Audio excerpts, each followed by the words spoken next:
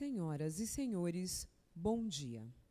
É com grande satisfação que a Universidade Estadual de Campinas recebe a todos para a apresentação da nova plataforma Google, fruto de uma parceria entre o Centro de Computação da Unicamp, Coordenadoria de Tecnologia da Informação e Comunicação da Unicamp e o Grupo Gestor de Tecnologias Educacionais da Unicamp. Sejam todos bem-vindos. Para compor a mesa de abertura, convidamos professor doutor José Raimundo de Oliveira, coordenador de Tecnologia da Informação e Comunicação da Unicamp.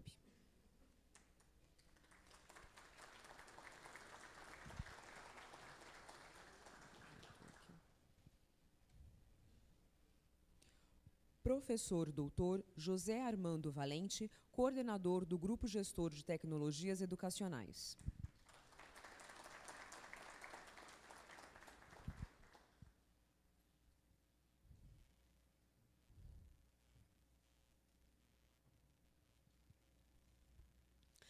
Justificaram a ausência até o momento professor doutor Luiz Alberto Magna, pró-reitor de graduação, e professora doutora Raquel Meneghello, pró-reitora de pós-graduação. A organização do evento recebeu uma mensagem da Coordenadoria Geral da Universidade.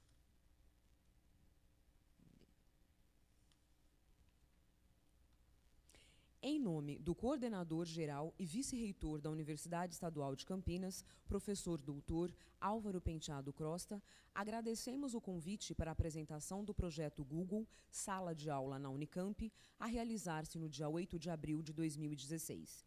Infelizmente, não será possível a presença do professor Álvaro, devido à sua participação como membro do Comitê CA 2016-CNPq em Brasília transmitam os seus cumprimentos pela importante iniciativa. Agradecemos a presença de professores, funcionários e alunos da Unicamp e demais convidados. A Unicamp firmou um acordo com a Google para estabelecer um canal de uso para toda a comunidade universitária, dos recursos que fazem parte do serviço Google Apps for Education. Esse serviço consiste de um pacote de ferramentas gratuitas para colaboração em sala de aula. Dando sequência a esta solenidade, convidamos para fazer uso da palavra o coordenador do Grupo Gestor de Tecnologias Educacionais, GGTE, professor doutor José Armando Valente.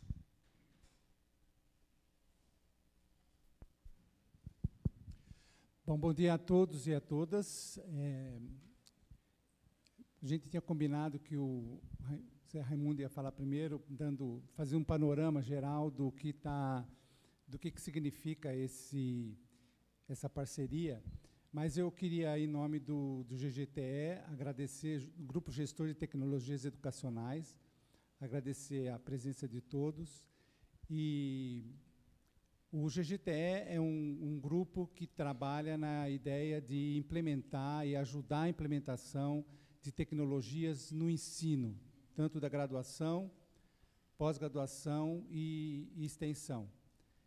É, a implantação do Google Classroom é mais um, é, vamos dizer assim, software, ou, ou, a gente poderia dizer mais uma plataforma que está sendo é, usada na universidade, juntamente com outras plataformas que a gente já dispõe, como, por exemplo, o Teleduc, o Moodle e agora, então, o Google Classroom. É, não significa que a gente está, vamos dizer assim, priorizando uma ou outra, porque isso, na verdade, fica à disposição do professor, é o professor que faz a escolha do que, que ele quer usar. E a posição do GGTE é manter a, o, o, suporte, vamos dizer assim, nessas, nessas três plataformas. É, o, o, Zé Raimundo vai explicar melhor como é que é o, o procedimento da implantação do, da parte, vamos dizer assim, de infraestrutura, e eu depois posso uh, explicar um pouco melhor como que a gente está trabalhando nessa questão do suporte aos professores e alunos com relação à, à parte pedagógica, vamos dizer assim, como usar isso nas diferentes disciplinas, tanto de graduação como de pós-graduação. Obrigado. Registramos a presença da professora Tereza Helena Portela, diretora de ensino do Cutuca, neste evento representando o professor Alan César Yamamoto, diretor-geral do Cutuca. Convidamos, então, o coordenador de Tecnologia da Informação e Comunicação da Unicamp, professor doutor José Raimundo de Oliveira.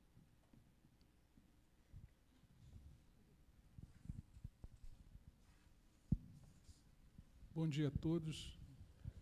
Bom dia a todas. É, eu, eu queria primeiro colocar é, a história né, de como que a gente chegou a essa parceria. Né?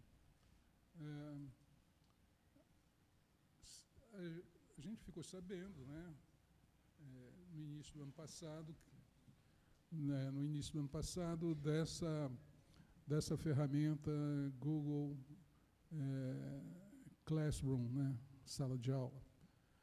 E, e na busca de novas ferramentas aí para dispor aos nossos alunos e professores, né, nós entramos em contato com a Google e, e, a partir de uma visita que fizemos lá, nós chegamos à conclusão que seria muito interessante dispor esse, esse recurso aqui para a universidade.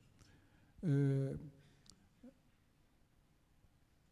bom, isso não foi uma coisa muito fácil de fazer, porque tem um interesse da universidade em manter é, é, um controle né, de quem realmente tem acesso aos recursos da universidade. Então, nós tivemos um, um trabalho técnico muito grande de fazer uma, uma interface de, de autenticação aqui na universidade e para entrar em contato com es, esses recursos. Isso demandou um certo trabalho e eu devo agradecer à equipe lá é, da nossa diretoria de suporte, que atuou diretamente na, é, nesse trabalho, e também agradecer muito fortemente a equipe da, da própria Google, que também nos apoiou nesse, nesse, nesse trabalho. Né? Foi um trabalho realmente muito interessante né? e que mantém é, o acesso a esse recurso né? com base naquele conjunto de pessoas que têm um vínculo formal com a universidade. Né? É, o nosso temor é que, eventualmente, é, a gente não tivesse mais esse controle. Mas foi um trabalho de cooperação das equipes técnicas, tanto da Google quanto da, do Centro de Computação, que levou a, a essa disponibilidade. Paralelo a esse trabalho técnico, nós também tivemos um trabalho de negociação, de, de aprovação na instância superior de, de,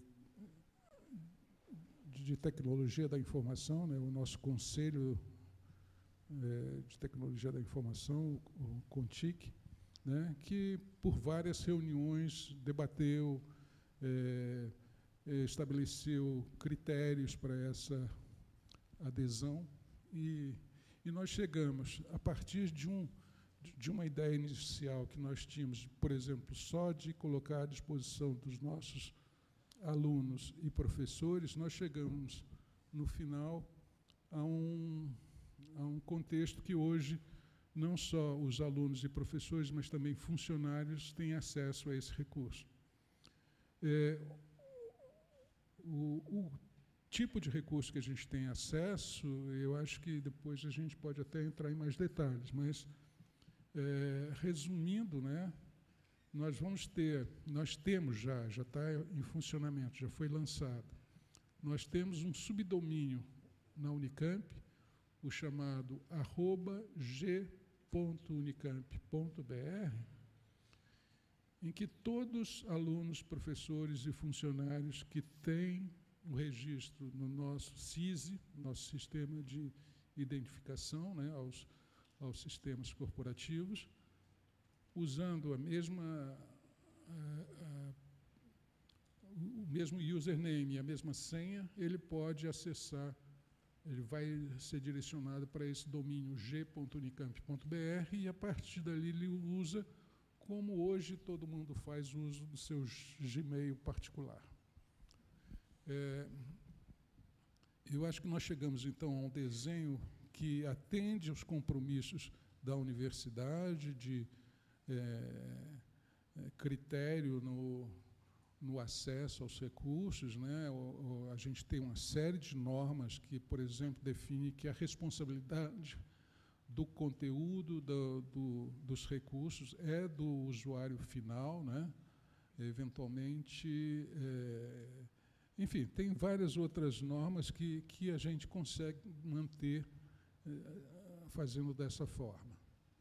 É, a Google, por outro lado, nos coloca à disposição, além do Classroom, da ferramenta de apoio ao ensino, ela coloca, é, por exemplo, para todos os funcionários, professores e alunos, uma cota de e-mail ilimitada uma cota de Google Drive ilimitada. Isso permite que, que os nossos docentes e alunos, por exemplo, possam compartilhar é, arquivos, né, trabalhos que estão sendo desenvolvidos em sala de aula, é, trabalhos de pesquisa, possam ser compartilhados nesse, nesses espaços. Além de outras ferramentas, como o próprio YouTube, né, o compartilhamento de, de vídeos, o compartilhamento de é, calendário, isso tudo está à disposição dentro desse domínio. É como se fosse o, o Gmail particular, mas com características especiais para uma instituição de ensino e pesquisa. Bom, isso já está disponível. Né? É, bom, é, já agradeci a todos que participaram dessa, desse trabalho. É, eu acho que a gente vai ter aqui um, uma exposição mais, é, mais detalhada de, de, todos esses recursos, mas eu quero, por último, é, confessar que eu fiquei é, bastante contente com a adesão que está tendo nesse, é, no uso dessa ferramenta. É, ela é, uma, é, é um conjunto de recursos que a gente está colocando à disposição, mas não tira de nós a responsabilidade de manter os nossos recursos institucionais é, próprios. Né? É, nós vamos continuar mantendo o arroba unicamp.br, esse é um domínio que é nosso, ele é residente em máquinas nossas, o que a gente está fazendo é simplesmente utilizar, expandir a disponibilidade de recursos para além daquilo que a gente é, é, tem né, em, nossos, em nossos equipamentos. Né? É, eu acredito que foi uma iniciativa é, que atende às nossas necessidades e, e, e a gente deve crescer, né? muito aí nas nossas pesquisas, no nosso ensino, dispondo esse recurso aí. Tá bom? Obrigado a todos pelo, pela presença e vamos dar continuidade. Eu passo então a palavra novamente ao professor doutor José Armando Valente. Bom, é, como o Zé Raimundo explicou, é a questão, vamos dizer assim, de infraestrutura, o que está por trás da, dessa parceria. Por outro lado, do ponto de vista de ensino, se, como eu disse, significa que a gente continua tendo o Teleduc e o Moodle, que já está, vamos dizer assim, conectado com o sistema DAC. Então, no caso do Teleduc e do Moodle, os alunos, vamos dizer assim, são carregados automaticamente na instância que é criada na, no Moodle ou no Teleduc. É, ainda é, não, a gente não tem ainda a carga dos alunos automaticamente, vamos dizer assim, no Google, mas isso está sendo é, providenciado. Né? Existe aí uma interface que tem que ser feita entre né, essas, essas bases de dados, então é uma coisa que está sendo, está sendo uh, implementado. Mas aí, então, o que, que o professor faz? O professor, por exemplo, entra na página do GGTE, ou ele clica que ele quer usar uma plataforma, ou ele entra no ensino aberto, né? É, e no ensino aberto, então, ele tem duas possibilidades hoje. Ele tem o Teleduc, o Moodle e vai ter o Google também.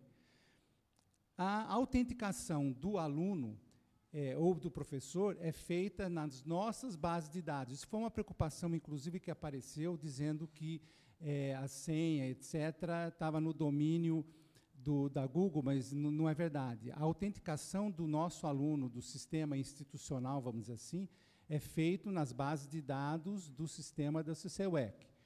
Uma vez que o aluno é identificado, né, que ele pertence à Unicamp, então ele entra nesse, nessa plataforma, é, de modo que isso, de certa maneira, é customizado, é pensado para a universidade. Um aluno de fora, uma pessoa de fora, não teria acesso a essa, a essa plataforma, porque ele não passa por essa autenticação que a gente faz nas nossas bases de dados. Bom, ele entra então nessa, nessa plataforma e aí então ele tem diversos sistemas, aplicativos de colaboração. Então isso vai ficar por conta do pessoal da Google que vai explicar quais são os, os aplicativos e o que, que o aluno, o que, que o professor pode uh, utilizar nessa, nessa plataforma. Agora, a UGGTE está criando uma série de workshops e está se preparando, inclusive, juntamente com o pessoal da Google, para dar suporte a esses professores é, e alunos também. Por quê? Porque essa plataforma, na verdade, ele tem os aplicativos, mas o ponto de vista de conteúdo e, vamos dizer assim, o aspecto pedagógico fica por conta dos nossos professores.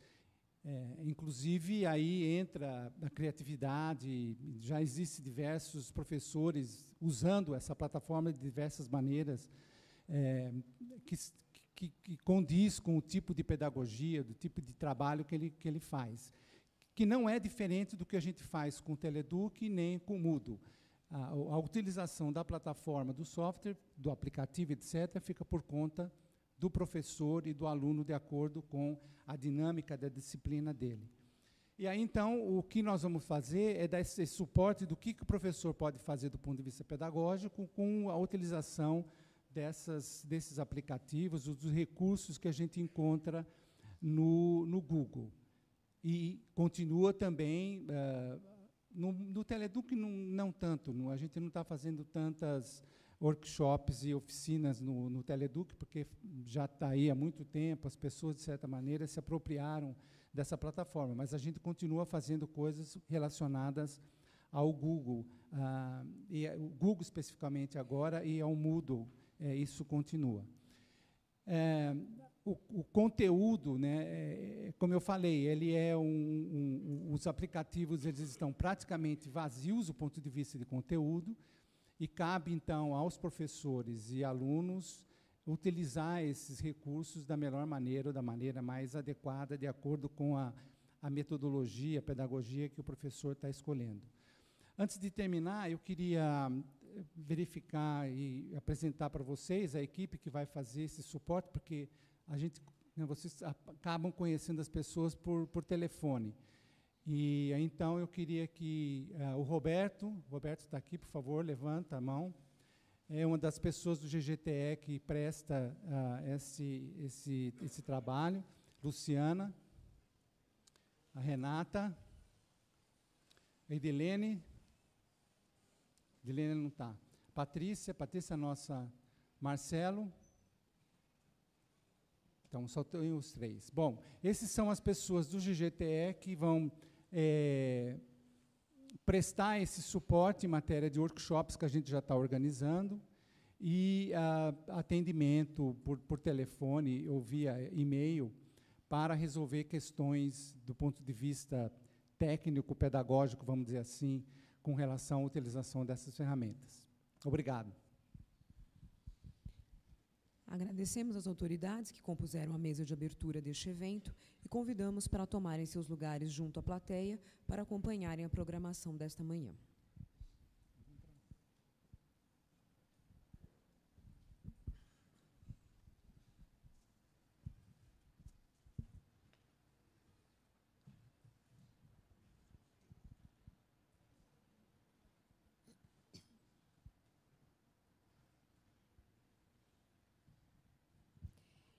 Engenheiro eletricista formado pela Escola Federal de Engenharia de Itajubá, com MBA pela FEA USP e extensões em Harvard e George Washington University. Atualmente é Head Latam da Google for Education, responsável pela área de educação do Google para a América Latina. Com extensa experiência em parcerias público-privadas, liderou projetos de infraestrutura na General Electric para a América Latina. Convidamos Rodrigo Afonso Pimentel para a palestra Google e Educação. Pessoal, quem aqui acredita que o professor, professor, a figura do professor é fundamental dentro da sala de aula? Tão poucos assim? Deixa eu fazer a pergunta de novo. Vocês ainda estão processando o café. Pera lá. Quem é que acredita que a figura do professor é fundamental dentro da sala de aula? Deixa eu começar esclarecendo que Google e professor estão assim, ó, estão juntos. Não tem a história de, ah, pô, o Google vai tirar o professor, que é o que aconteceu. Ah, talvez as primeiras perguntas que, que quando a gente começou a, a falar de Google para educação, sete anos atrás, não, mas já tem um mecanismo de busca, né, que substitui o professor, né? Isso é uma grande bobagem, né? Uma grande bobagem. Segunda pergunta para vocês: quem acha que, o aluno está absolutamente encantado e feliz dentro da sala de aula? Obrigado pela sinceridade. Porque, porque tem que ter uma ponte entre ambas as, as, as histórias aqui. Entre o fato do professor que cada vez mais é a figura de um coach, cada vez mais tem que ser essa figura do, do cara que mostra os caminhos, do que propriamente é aquele que só expõe, versus o aluno, que está com a cabeça aceleradíssima. Mídias mil, mil coisas acontecendo ao mesmo tempo. Eu sou pai de trigêmeos de 12 anos. Estou sentindo ali um, um, certo choro no fundo. Com, com muito orgulho, né? mas é, a turma é muito acelerada demais. Eles não conseguem ficar meio parados vendo ah, alguma coisa fixa por muito tempo. Esse, essa ponte de, de, diálogo a gente tem que fazer acontecer. Então, nosso papel é esse. Então, eu sou responsável pelo, pelo Google para a educação na América Latina. Para a gente, antes de mais nada, estava comentando aqui com, com o professor Valente. A primeira reunião que eu fiz no Google, quando entrei no Google há um ano atrás, por coincidência, foi com o professor Raimundo. Eu estava lá escutando, tal, tal, e, e ele comentou, se não me engano, era o pessoal da engenharia mecânica que já estava usando as ferramentas de, de forma espontânea tal. É, e de lá para cá, nesse um ano de preparação, a Unicamp, e eu fico muito feliz é, com isso, fez a gente passar por todos os checklists possíveis e imagináveis do ponto de vista de privacidade, do ponto de vista de, de tranquilidade de uso, de economia de operação. Então, assim, tem toda uma história que foi construída aqui. A gente espera começar a sedimentar com vocês. E, de novo, para a gente fazer essa fusão entre o mundo real, da cabeça do aluno lá fora, com a, a excelência de uma instituição é, é, super tradicional como a Unicamp. Existem formas da gente fazer esses mundos se conversarem? Certamente. Então, antes de mais nada, obrigado pelo, pelo convite, pelo evento e pela presença. Vamos em frente aqui? Deixa eu pegar. Ah, você me ajuda aqui, Augusto? Ah, deixa eu seguir aqui. Eu queria começar com um videozinho. Ele está em inglês, pessoal, mas é, eu acho que conta bastante da forma como a gente pensa educação. Depois vou resgatar uns, uns trechos dele para a gente seguir em frente.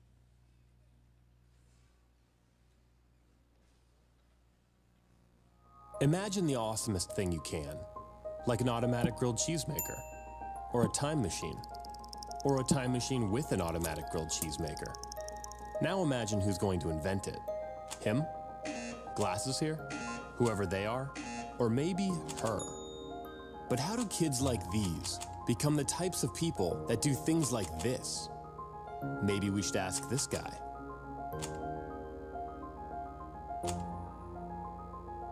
Knowledge is heavy. Sometimes it's a limit to, to have new ideas. That's the problem with the old schooling because they were teaching answers. I believe questions are probably more important today than the answers. Erno's cube is a question waiting to be answered. And when the right person finds the right question, something amazing happens. they start seeing the world as it truly is not a place to be memorized, but a place to be figured out, flipped, turned, twisted, and ultimately made better forever. Today, she may be an octopus, but help kids like her fall in love with problem solving, and they will embark on journeys to become scientists, artists, engineers, designers, inventors, or something no one's ever been before, but you can bet we're gonna need. That's why moments like this, go, and this, and this, and especially this, are so important. Because there are companies to found, planets to walk on, time machines to invent, a future to be made amazing. We may not know what it's going to look like, but we know who's going to do it.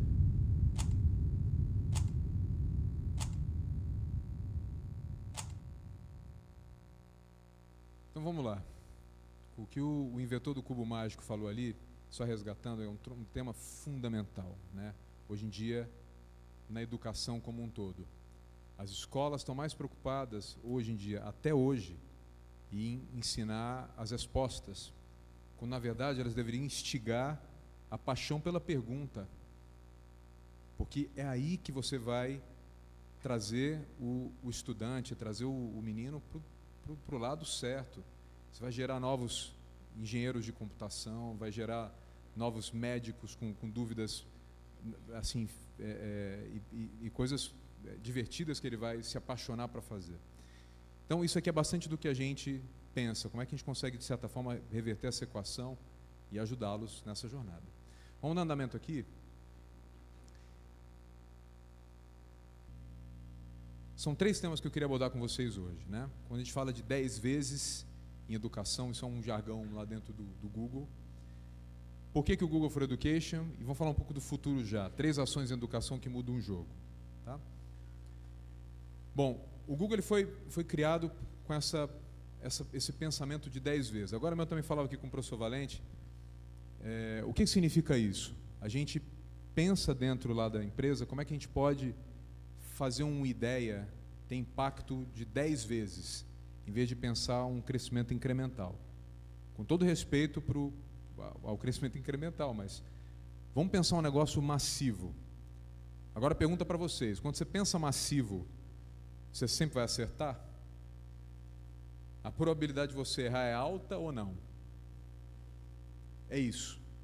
Então, é quase como se dentro do Google a gente pensa, vai, erra, mas erra rápido, bicho. E já reitera e já conserta. Então tem essa frase do, do Larry Page que é desconsideração saudável pelo impossível, né? Então a gente respeitosamente entende que tem o impossível, deixa ele lá, mas vamos, vamos desafiar, vamos, vamos entender como é que a gente consegue mudar isso, né? Exemplo clássico disso daqui. Quando o Google foi criado, foi uma, uma tese de doutorado do Larry Page e do Sergey lá em Stanford. Talvez a única empresa de, educação, o Rodrigo me lembra dessa, desse, desse tema toda vez, talvez a única empresa que de fato começou no seio da educação, da, das grandes hoje em dia. Né? Tem várias outras aqui que depois apareceram. E de, de caras que se, se formaram mesmo. Né? Eles terminaram a, a, a história, foram até o fim. Mas um, um, dos, um dos primeiros professores com que eles foram conversar na, na universidade, eles falaram que queria fazer um mecanismo de busca. O professor deu uma risada na cara deles, falou: "Amigo, já tem o Yahoo aí, pô. Você tá louco? Isso aqui". E eles persistiram, né? Se, apaixonaram por aquele problema. E a gente consegue fazer melhor. E foi, foi, foi e hoje essa essa carinha, e aliás muito interessante, também outra característica do Google. Como é que a gente consegue fazer o 10 vezes simples? A cara do Google não mudou muito, certo? Continuar o Google, tem o Doodle que muda para homenagear o Cazuza, o Dia das Mulheres e tal, tal mas é isso aqui, né? Simples. E, esse, e o tema do buscador reinventado. Hoje em dia, grande parte do que o Google coloca em termos de tecnologia está assentado cada vez mais em inteligência artificial. Como é que a gente consegue antecipar alguns problemas da humanidade antes mesmo daqueles problemas de fato eclodirem, antes mesmo da, da, do, do, pepino acontecer. Como é que a gente consegue trabalhar nesse sentido? E hoje em dia, o celular, agora oficialmente, né, é a ferramenta que, que mais está tá trazendo a internet para dentro da casa da gente. É, uma fal, é um falso debate. A gente imaginar que hoje em dia você tem vários estados no Brasil que proíbem o celular na sala de aula. É um falso debate. Essas leis foram, foram passadas anos atrás, quando você tinha a figura do smartphone, mas que não era tão smart como é hoje o fone. Hoje em dia você tem uma ferramenta, que pode ser uma ferramenta educacional de fato, desde que seja construído o processo para que aquela instituição consiga extrair o máximo dali também. Né? Então a gente reinventou o buscador para que seja adaptável para isso. Né? Estou voltando na história do desconsideração saudado pelo impossível. Mas o que é o nosso 10 vezes, o TENEX, quando a gente fala de educação especificamente? Eu adicionei essa perguntinha ali, para a gente entrar no nosso mundo aqui. Eu acho que o dilema fundamental que a gente se debruça é o tema do acesso. Quem aqui conhece o Coursera? Se não me engano, tem conteúdo da Unicamp no próprio Coursera, certo? Tem conteúdo de Stanford, tem conteúdo da, de Harvard, tem conteúdo do Tec de Monterrey, do México, tem conteúdos assim do mundo inteiro, gratuito, gratuito. Você tem excelentes conteúdos disponíveis mundo afora. O dilema é como é que você consegue fazer com que isso chegue lá na escolinha de Manacapuru, no Amazonas, uma escola rural no meio do mato. Porque se o aluno tiver acesso àquela informação, aquilo pode mudar o mundo dele. A forma como ele enxerga o mundo, de novo, a gente vai trazê-lo para se apaixonar por problemas novos, resolver algumas coisas e, se, e, e embarcar numa jornada que talvez ele não conheça. Então, aqui que a gente tem focado todo o nosso esforço. Inteligência artificial, as ferramentas que a gente coloca. Talvez um dos primeiros projetos que a gente começou a trabalhar aqui no Brasil foi, falando em Manacapuru, foi no Amazonas. Não sei se vocês sabiam. Que é um baita contrassenso. O que, que vocês estão fazendo lá no Amazonas, gente? Que, enfim, tem toda uma história, tem, não tem conectividade. As escolas, várias delas, você tem que pegar barco para ir. Os meninos, em alguns casos, eles pegam quatro horas de barco para ir, quatro horas para voltar, e quando eles chegam, eles vão caçar para comer. Então, as escolas funcionam na base de gerador. Então, tem uma série de coisas que é o que é o difícil. É ali que a gente escolheu fazer um dos principais projetos que a gente tem hoje no Brasil, para a gente trazer, inclusive, tecnologia de baixa conectividade, que não requer tanta conectividade. É que um pouquinho, com aquilo, aquele pouquinho, a gente quer fazer o diabo lá de acesso para os meninos. Então, esse é o grande dilema que a gente enxerga no Google hoje. Né? Esse, acoplado com mais um, que é o tema de trazer, a gente trazer de novo uh, o Googliness, que a gente chama, que é, é como se fosse a diversão para a sala de aula. E, e não, não levem isso muito leve, não, esse tema de diversão para a sala de aula, porque vocês sabem qual o percentual médio de desistência dos alunos no ensino médio no Brasil? Vocês têm alguma ideia dessa, dessa estatística? Quanto? Não tão alto, professor, não tão alto. Mas é um pouquinho, um, tanto menos, mas ainda assim eu acho absurdo. Você tem estados que chega a 40%. Na média, a gente está falando de 25% de meninos que desistem. E a gente tem uma, tem uma parceria também com a Secretaria da Paraíba, com o secretário Alessio, ele fez uma pesquisa muito interessante para entender por que, que os meninos estão saindo da minha sala de aula, por que, que eles estão deixando de vir. Em grande medida, o que ele apurou é o seguinte, que é uma questão de desesperança. O aluno não entende que terminar o ensino médio vai levá-lo para algum lugar. Então ele prefere pegar talvez um subemprego, ganhar o dinheirinho dele ali, porque aquilo lá não está trazendo nada de diferente para ele, não consegue fazer a ponte entre ele ser um, uma pessoa de sucesso e estar tá na sala de aula. Então, uma mensagem de desesperança. Então, a gente tem que acoplar o tema do acesso, esse tema da gente trazer de novo a felicidade para a sala de aula, sabe, a tranquilidade, a, a coisa do, do menino se sentir motivado de alguma forma. A gente leva isso muito a sério. Por isso aqui os balãozinhos, por isso aqui toda a história, quando a gente fala de Google, tem que ser uma história diferente mesmo. A gente quer tentar sempre dar um reset na forma tradicional da gente pensar, para a gente incorporar os bons elementos, levando em conta essa temática do acesso. sem dúvida, a aprendizagem pode estar em todos os lugares. E o mundo mudou, pessoal. Né? A comunicação, informação e mesmo a tua formação de equipes, a gente vai mostrar um pouquinho de algumas pesquisas que a gente fez no ano passado com o pessoal da The Economist em, eh, globalmente, que acho que endossam mais ainda o que a gente está falando aqui, né? essa, essa perspectiva de que está tudo diferente. Porém, a sala de aula é a mesma coisa. Né? Continua basicamente a mesma história. Você tem aqui uma foto de como era a escola 50 anos atrás e, e, e em grande medida como ela está hoje, né? que só muda talvez a cor, mas a, a história continua a mesma. Como se pode imaginar que você vai pegar 52 milhões de alunos, que é a massa de estudantes brasileiros, por exemplo, colocar dentro de um liquidificador e sair lá todo mundo igual do outro lado? Eu não estou falando da, da base comum, não, pessoal. Estou falando aqui é do tema de você imaginar que todo mundo aprende do mesmo jeito. Não existe isso.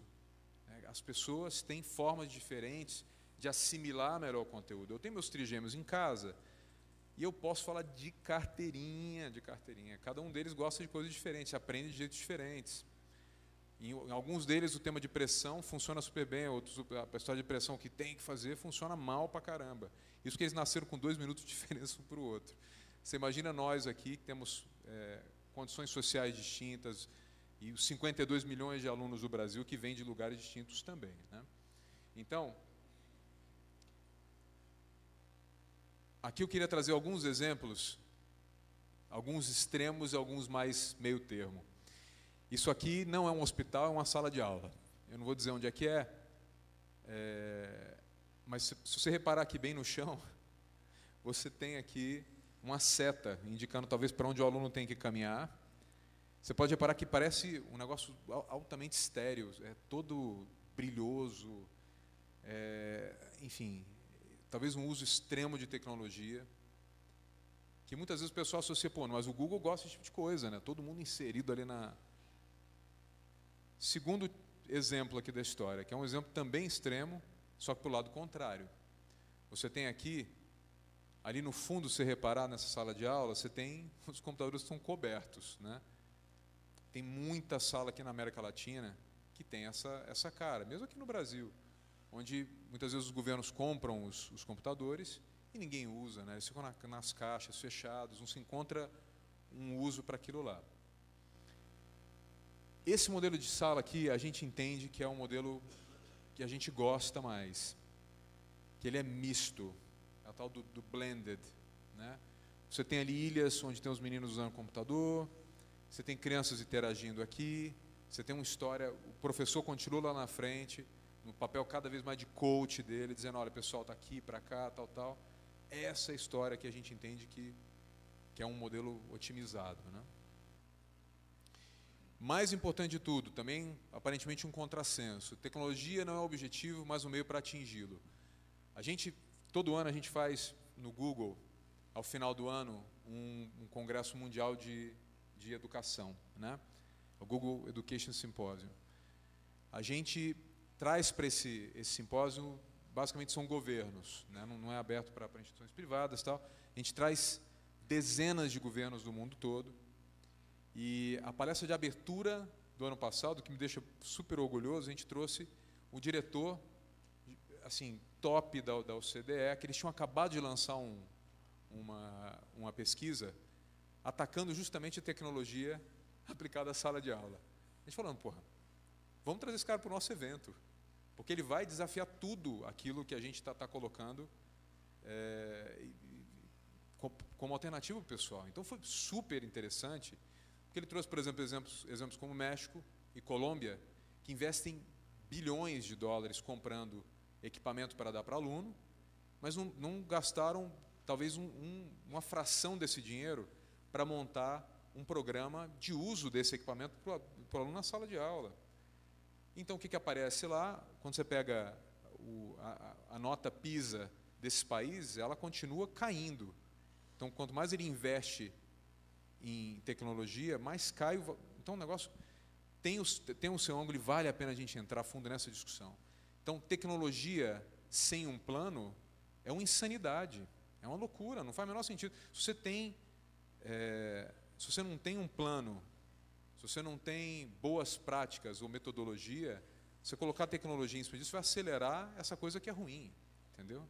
Então você tem que questionar tudo isso e a tecnologia pode ser um excelente, um excelente ponte, um meio para você atingir.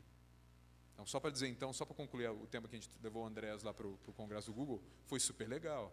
E foi muito inesperado, né? Então, pô, o cara está desafiando. E, foi muito, e ele abriu todos os pontos para a gente lá, esclareceu, e foi super legal. Então, o que mais? Aqui, eu adoro esse slide.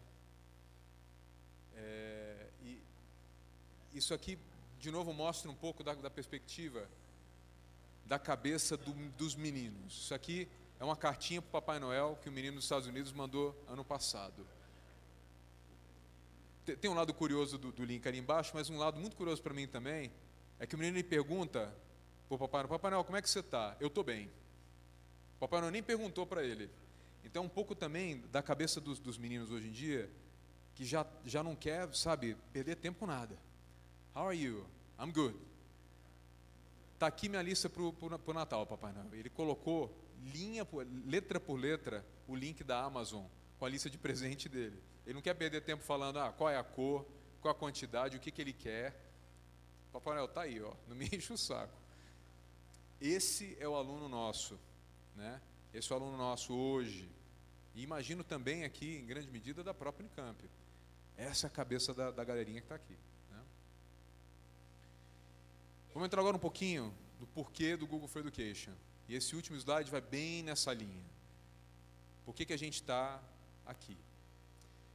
Isso aqui seria como se fosse vai, uma missão que a gente bolou lá para criar tecnologia aberta. Agora há pouco a gente falava aqui sobre o negócio da tecnologia ser aberta e acessível, você poder brincar e plugá-la. Né? Pega o Android, por exemplo. Mais de 80% dos celulares do mundo tem Android. E o Android é aberto, gratuito, o fabricante faz o que ele quiser lá com Android. Entendeu? Tecnologia aberta e gratuita para tornar o aprendizado mais divertido e disponível a todos em qualquer lugar. Aqui eu estresso o divertido antes até do disponível. Porque o aprendizado pode sim ser divertido. Eu lembro dos melhores professores que eu tive na minha vida, gente que foi que me ajudou a, a aprender rindo, que eu gostava, que, enfim, falava do jeito que eu, que, eu, que eu curtia. E todo mundo aqui deve ter na sua cabeça aquela ideia do professor que te ajudou naquele momento difícil, ou enfim, o coach que foi, teu pai, tua mãe. Então a gente quer resgatar essa história do, do divertido para a sala de aula e disponível para a gente fechar a lacuna do acesso. Tá? E fundamentalmente, por um tema que a gente também não, não pega leve não. Esse aqui é a história de preparar os estudantes para empregos que ainda não existem. Aqui a gente está dizendo que, que medicina, engenharia, administração não vale? De jeito nenhum. Eu estou querendo dizer que daqui a 10 anos vão existir profissões que hoje não existem. Então, isso fundamentalmente é um desafio para todos nós, universidade, o ciclo básico anterior todo, todo mundo tem que ter isso muito presente. Quando a gente fala de computação em nuvem hoje, é um mercado de centenas de bilhões de dólares que começa cada vez mais a crescer. Né? Quando a gente fala de computação em nuvem, fundamentalmente, a gente vai ter algumas centenas de empresas que vão ser criadas nos próximos anos para endereçar essa demanda. E essa demanda só vai ser endereçada com profissionais que são experts nesse tema. E hoje em dia, a gente passar o, o, o filtro geral nas nossas universidades, a gente não tem profissionais suficientes para atender essa demanda. Big Data, outra história também que é super grande. É a vida do Google, é a vida do Facebook, é a vida de, enfim, das empresas de varejo, de todo mundo que faz comércio eletrônico. É Big Data. Como é que você pega uma maçaroca de dados e você faz aquilo lá trazer algum tipo de, de lógica? Mesma coisa. Você não tem profissionais suficientes, a demanda é explosiva já. Então, a gente tem que estar com isso muito atento na nossa no nosso radar. Eu estou largando esse, esse ponto, uma hora eu vou perdê-lo. Mas a nossa estimativa é que 60% dos estudantes hoje vão trabalhar em carreiras que ainda não existem. 60, mais da metade. Então, de novo, com todo respeito com as, com as profissões tradicionais, que sempre vão existir, mas tem coisa nova que a gente tem que estar muito atento. Dentro dessa mesma pesquisa, a gente pegou a turma da The Economist e no primeiro trimestre do ano passado, a gente foi perguntar para as empresas o que, que elas esperam dos profissionais que elas vão contratar. E aqui também acho que endossa mais ainda o tema da gente trazer essa turma para um patamar diferente de, de conversa e de abordagem com relação a, a problemas. Né? Primeiro ponto que a turma trouxe, ó, eu quero que resolva problema aqui dentro de casa. Eu não quero gente para vir me causar confusão, não. Já tem confusão suficiente. 51% dos caras eu quero problem solving, resolução de problemas. O segundo é trabalho em colaboração, que é a raiz da tecnologia que a gente cria, inclusive. Tudo que a gente comentou aqui vai nessa linha, certo? É você fazer o, teu, teu TCC em colaboração, fazer simultâneo. Aliás, deixa eu contar uma historinha aqui que é dos meus trigêmeos de novo. Estão ali, não tem como fugir da galera. Eles estudam na escola da vila. Isso, semana, duas semanas atrás, é, no domingo, eles estavam se preparando para a prova de CN, de Ciências Naturais, como se fosse biologia. Né? Aí eu cheguei, fui dar uma olhadinha, cada um deles estava com um computador na mão, um Chromebook. Aí eu dei uma olhada, eles estavam no Classroom, que a gente falou no Google, sala de aula, que depois o Augusto vai brilhantemente contar para vocês aqui, muito melhor do que eu. Mas é, e a molecada lá, pô, já fiquei feliz pra caramba. A escola da vila tá, tá usando a ferramental do Google, 10. Aí a molecada daqui a pouco sumiu. Aí eu vou lá no, no, no meu quarto, isso eu, bati, eu batendo foto e mandando para o pessoal da, da, minha equipe. Pessoal, olha isso aqui. Eu, eu não falei nada por essa luz que me alumeia aqui.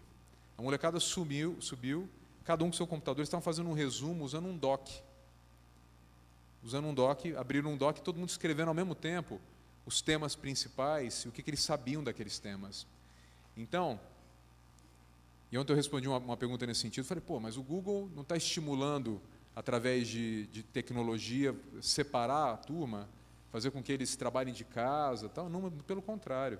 Eu não quero que ele perca tempo. Né? Quero que ele, de fato, foque ali quando tem que fazer um trabalho, pode, pode fazer o trabalho de qualquer lugar. Pode, inclusive, usar o Hangouts para juntar até quase 30 pessoas na mesma conversa e todo mundo se eh, debater e, fazer o que precisa fazer. E também, naquela linha da, da escola, da, da, sala de aula mista, quando tem que juntar para fazer o trabalho junto, fundamental, face to face, todo mundo se olhando. Essa aqui é a expectativa, de novo, então, dos presidentes de empresas. Tem que resolver problema e tem que saber colaborar, pessoal. Isso não somos nós que estamos falando, não. É o mercado que está gritando por essa demanda. Onde a gente foca a nossa história. Né? O Google jamais terá metodologia de ensino, jamais se avorará a falar, ah, esse é o conteúdo de matemática, de física que você tem que usar. O Google é uma plataforma, é uma plataforma que dá muita ferramenta para as instituições poderem escolher os melhores conteúdos e prover acesso massificar aquele acesso e estimular a colaboração. Então, tem três é, frentes básicas que a gente trabalha. A primeira delas são os Google Apps. Né? A gente tá, fala aqui da, da, São as ferramentas que, em boa medida, todos aqui já conhecem. É o Gmail, é o Drive, é, sites, forms. A gente vai falar um pouquinho mais de, em detalhes em alguns deles aqui. A diferença é quando você fala da, das ferramentas corporativas, essa que, é, que a Unicamp está assumindo agora, você tem uma série de vantagens. Você não tem nenhuma publicidade, o Google não reter nenhum dos dados de alunos, professores, nada disso. E, e você começa a ter, por exemplo, drive infinito para aluno, para instituição. Temos, por exemplo, inclusive, algumas universidades que começam a fazer o uso do drive, olhando de novo aquela história que a gente falou da nuvem, certo? Computação em nuvem. Tem instituições que têm teras e teras e assim muito uma massa de dados de vídeos que trabalha com ensino à distância e está guardando tudo aquilo on-premise, está tá guardando tudo aquilo dentro de casa. Então tem que comprar mais servidor e de vira e mexe o servidor dá um pepino e como é que os alunos vão acessar os, enfim, tem instituições agora transferindo tudo para dentro do Google Drive. põe na nuvem. É quase como se dissesse assim: libera o nosso recurso e libera o nosso tempo, porque de fato precisa. Né? É um processo que vai aos poucos e tal, tal, mas mais e mais, tanto empresas e fundamentalmente as escolas, estão percebendo que é fundamental. Libera o tempo, libera o tempo do professor para as coisas que são fundamentais. Então, plataformas, dispositivos. Chega a falar aqui do Android, 80% dos, dos celulares do, do, do, planeta. E a gente tem a figura do Chromebook também. Quem já, quem já ouviu falar de Chromebook aqui? Pô, tem uma, tem uma turma aqui. O Chromebook é como se fosse um, um, um notebook inventado pelo Google, só que tem algumas vantagens. Primeiro, ele é muito mais barato do que os, os notebooks que se vê no mercado. Segundo, ele não tem sistema operacional. O que isso significa? Pelo fato de ele não ter um, um sistema eh, residente, ele deixa muito mais leve aquela máquina. Você não tem tela azul, você não precisa colocar é, antivírus na história, você não precisa de tanta bateria ou ficar carregando o tempo todo, porque ele não fica recorrendo a, a, a hard drive o tempo todo. Né? Ainda assim, sim, ele tem, você pode é, trabalhar offline com ele e você pode guardar também informações lá dentro. O Chromebook hoje em dia já é, eu vou falar um pouquinho daqui a pouquinho é, sobre ele em mais detalhe, já é o equipamento número um de todas as escolas americanas. Por conta disso. A turma de TI está apaixonada pelo Chromebook porque é fácil de lidar. Você pode é, transformá-lo, isso é uma temática muito forte nos Estados Unidos, transformar aquele Chromebook num quiosque para fazer prova online. As provas oficiais americanas agora são todas online. Então você pode transformar ele num quiosque onde o aluno só vê a prova só vê aquela prova. Ele não consegue fazer pesquisa para fora ou para dentro, e, o, e a turma de TI não precisa ir lá ajustar a máquina, tal, tal, tal. Então, dispositivos. E por fim, conteúdos. Plataforma de conteúdo. Quem que conhece o YouTube Educação? Nós somos muito ruins em contar do que é YouTube Educação, né, Rodrigo? Enfim, YouTube Educação é o seguinte: a gente tem milhares, dezenas de milhares de horas de professores de aulas de professores mesmo, do Brasil inteirinho, sobre os mais diversos é, é, aspectos, você pode imaginar, geometria, biologia, tem coisas muito legais lá. Tem professores que são quase que youtubers mesmo, como a, a Kéfera do, do, da educação. Tem gente muito boa no YouTube Educação. Né? É uma parceria nossa, pessoal da Fundação Lehman, que, que traz os professores para fazer a curadoria desses vídeos. Então, é tudo conteúdo curado por professores, que a gente considera, pô, tem uma chancela de professores, Fundação Lema, e está dentro da plataforma do Google chamada YouTube Educação. Então, vejam, que eles não conhecem, vão conhecer. Plataformas para a gente massificar conteúdos. Então, a gente tem uh, Cultural Institute. Quem conhece o Cultural Institute aqui? Podem anotar. É legal, não é, professora? Cultural Institute, a gente colocou milhares, milhares de instituições, é, museus, para é, assim escaneamos essa história toda. Você consegue ver com a arte, é, com, a, com, a, com a resolução super, super assim fina, é, detalhes de igrejas, de museus, para você trazer a experiência para, a sala de aula, né, para o aluno. De novo a história do como é que você gera o acesso. Então esse tipo de plataforma é onde nós somos bons, bons fazendo também. Um pouco mais da história de plataforma, já comentei com vocês. A gente tem aqui o Drive, calendário de e-mail, sala de aula. O professor ali vai, vai falar já já. Hangout Sites. Isso aqui é os meus alunos, meus alunos, meus, meus filhos, alunos, dois fins de semana atrás, fazendo coisa ao mesmo tempo, e o pai emocionado, chorando. Aqui um pouquinho da história de devices que eu estava comentando com vocês e um pouco da, da, da nossa perspectiva aqui no Brasil. São 10 estados no Brasil que já tem acesso às ferramentas do Google, que a gente já tem parcerias ativas. Então está disponível a 9 milhões de estudantes no Brasil. Então, a gente está falando aqui de instituições privadas, públicas. Então, é uma massa de gente que já, já usa esse ferramental do Google. São 10 milhões de estudantes no mundo inteiro que já estão usando Chromebooks. Como comentei, o equipamento número um em educação. Ups, uma pequena acelerada aqui.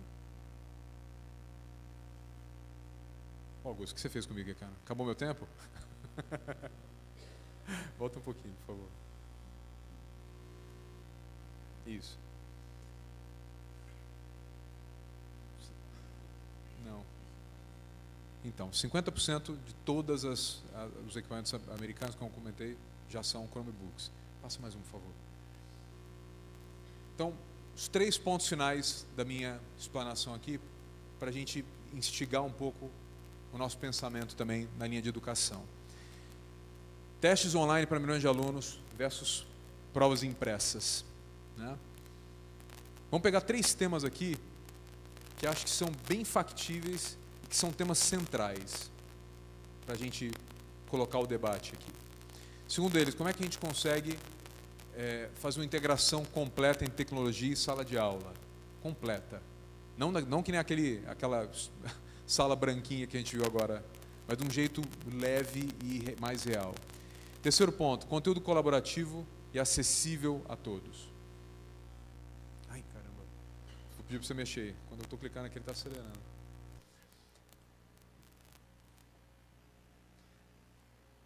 Aquele, o 27. Isso. Passa para mim, por favor. Primeiro aqui. Enem, dados de 2014. 8,7 milhões de estudantes, custou aos cofres públicos 453 milhões de reais. Tem uma estimativa do BID, Banco Interamericano de Desenvolvimento, que o Brasil gasta com avaliações 1,5 bilhões de dólares. Todos os, uh, os as entidades privadas, públicas, uma estimativa. Acho que faz sentido pelo, pela, pela figura aqui. A turma do INEP, o governo brasileiro economizou 18 milhões de reais nesta prova por ter deixado de enviar o cartão de confirmação via correio. Eu não quero falar bem ou mal do Enem aqui, a questão não é nem essa. Já está posto, a prova está lá. A questão é, existem, existiriam formas da gente talvez baratear o custo, pensar diferente um pouco essa, essa prova? Esse é o tipo de conversa que a gente adora ter. Que o impacto é grande, é Tenex, e custa muito para os cofres públicos. É uma, uma, prova fundamental, os meninos contam com aquilo. No entanto, esses 453 milhões de reais são gastos com o quê, fundamentalmente? O que vocês imaginam?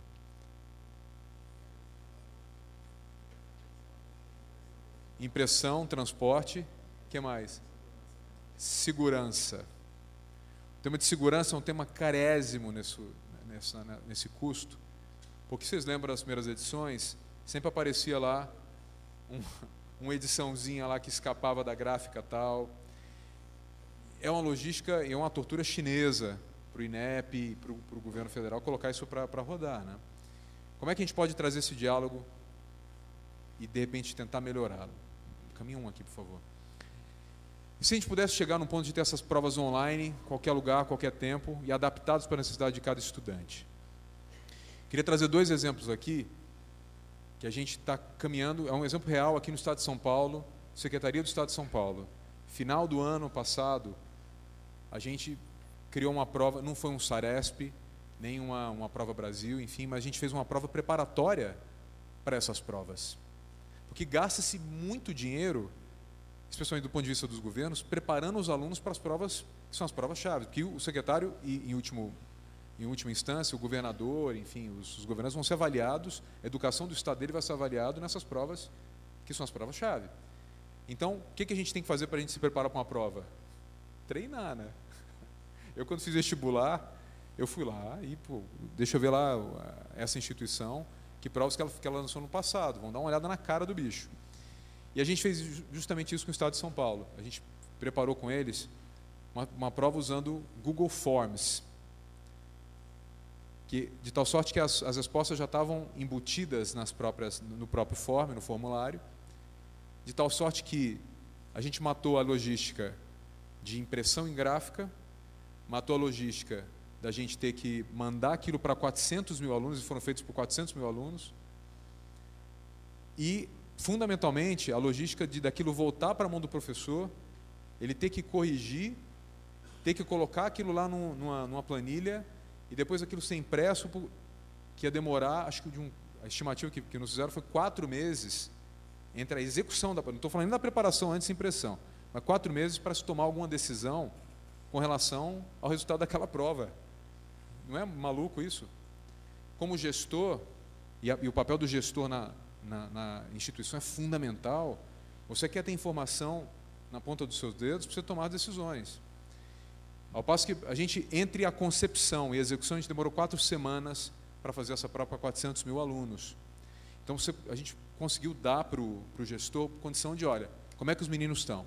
Muito mais velocidade. Pra, quais diretorias regionais aqui estão bem, quais estão ruins em português, enfim. E que, que, que ações a gente, precisa tomar, pessoal? E com economia, pelo que a gente estimou, de 2 milhões de reais em uma prova. Foi, foi enfim, a informação que a gente obteve do pessoal de, de tecnologia de informação da secretaria. E também a gente teve aquele momento de conversa com, com o secretário, onde o pessoal falou, secretário, o pessoal de TI, eu falei que não ia dar certo. E deu. Então temos que fazer mais. Então, passa a próxima, por favor. Mudando agora para a integração de sala de aula completa. A gente tem alguns exemplos no Brasil aqui, onde a gente já começa a ver isso é, de um jeito muito leve, muito legal. Eu trouxe aqui o exemplo do Colégio Mater Dei. Vocês podem procurar na mídia um pouquinho da história do Mater Dei. Hoje a gente tem várias escolas semelhantes ao Mater Dei, Brasil afora, onde, onde se cria um conceito quase como se fosse uma sala Google, toda colorida, sem mesa, onde os meninos chegam lá, pegam, pegam o seu Chromebook, pegam o seu tablet, e a aula é toda expositiva de um jeito diferente.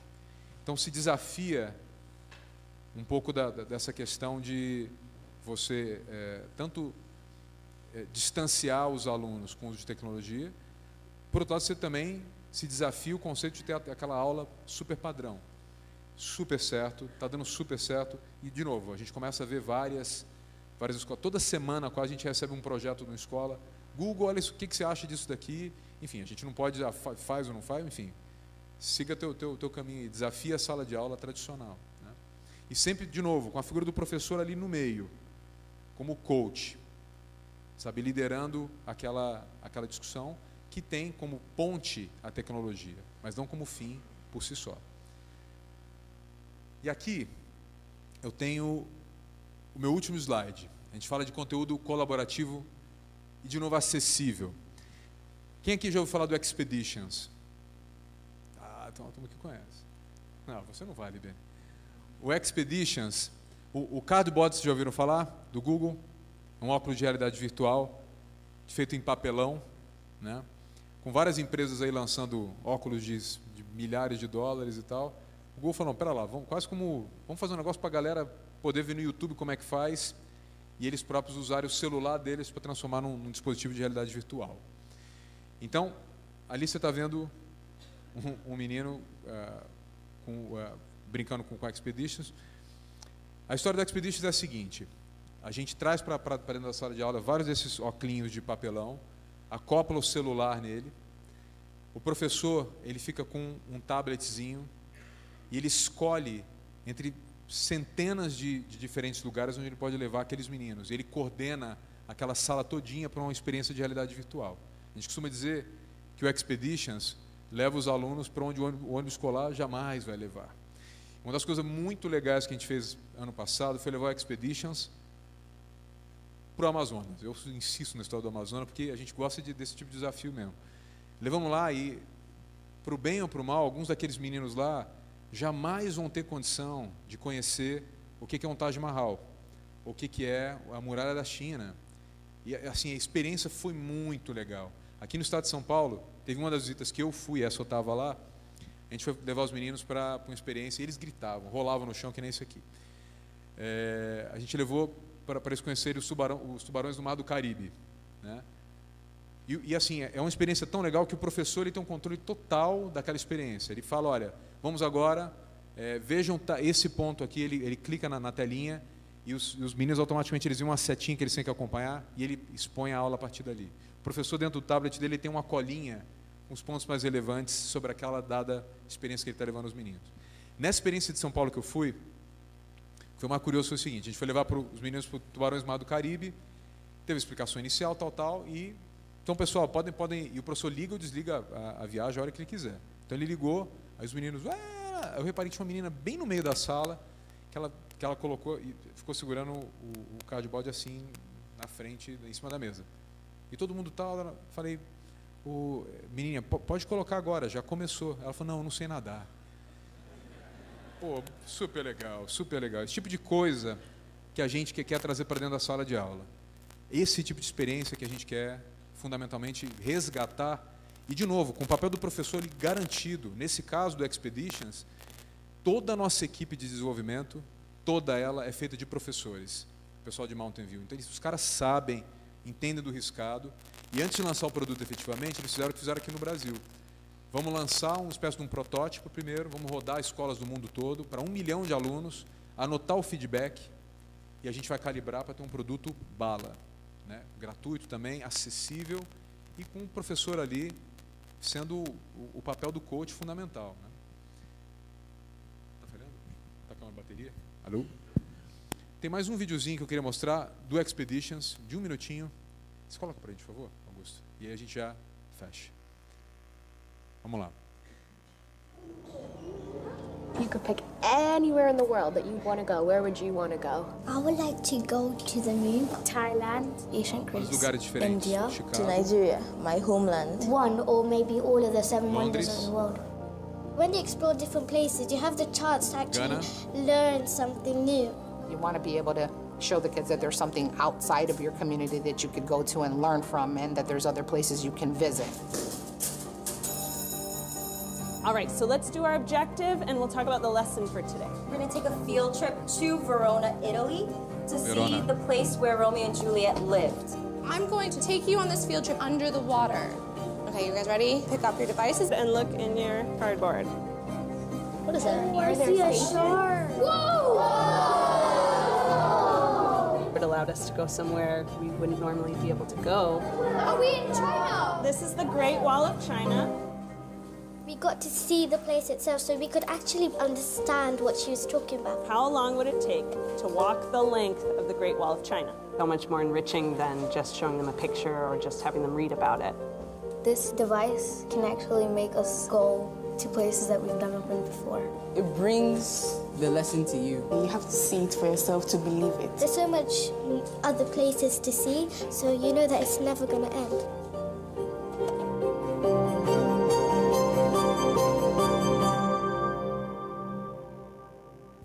Só obrigado.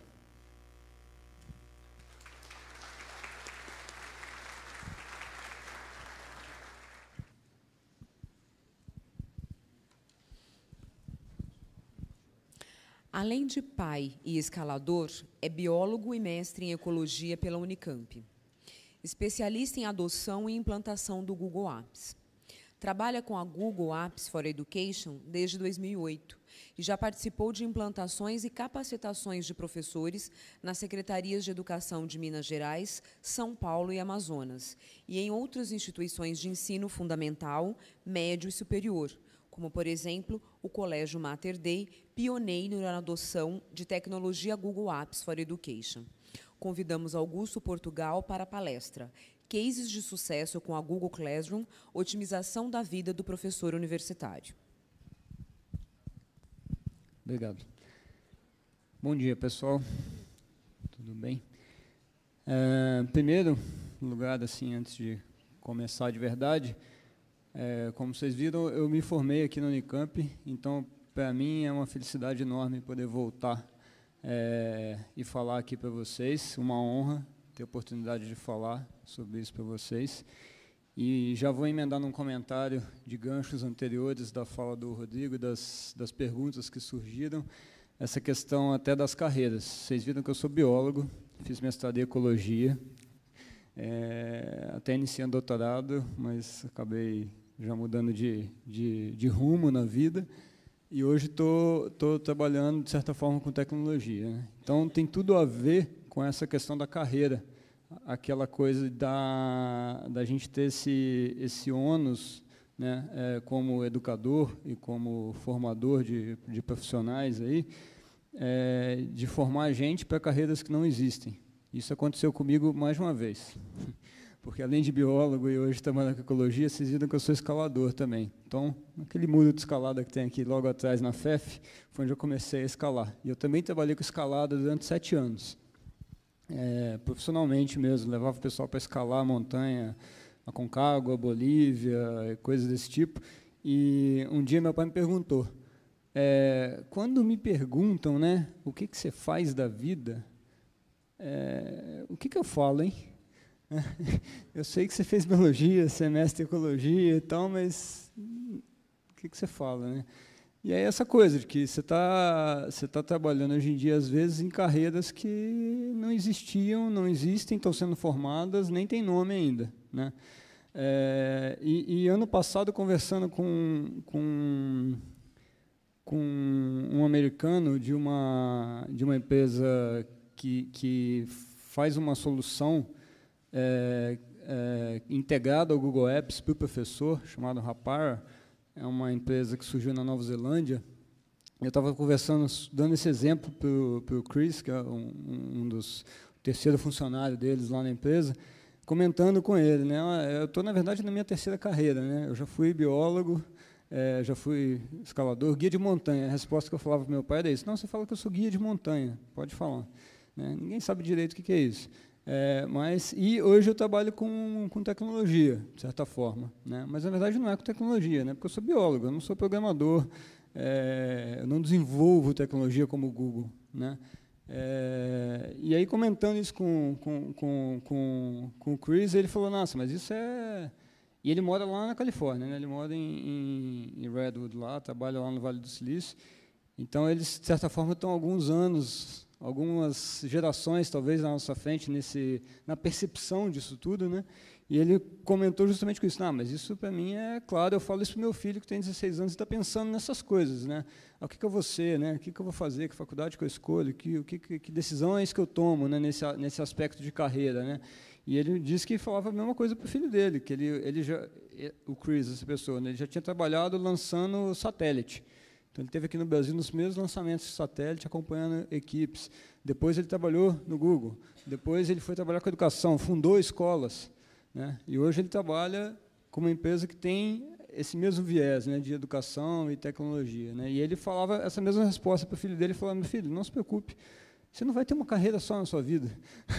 você vai ter duas, três, quatro carreiras. Essa é a realidade. Né? Porque é, mesmo que você comece numa carreira, isso vai mudar. Isso tem tudo a ver, da minha visão, de certa forma, tem tudo a ver com, com, com isso que a gente está falando dessa dessa disrupção, de certa forma, que há essas tecnologias que vieram com a internet criaram no mundo como um todo, negócios é, e tudo mais, e muito na educação. A educação talvez tenha, esteja embarcando nessa, né, por último, de certa forma, ou um pouco depois de outras áreas, porque agora que a gente está tendo esse, esse, impacto, agora que a gente está pensando nessas perguntas que a professora falou de meu aluno não quer ouvir o que eu quero falar para ele, gente.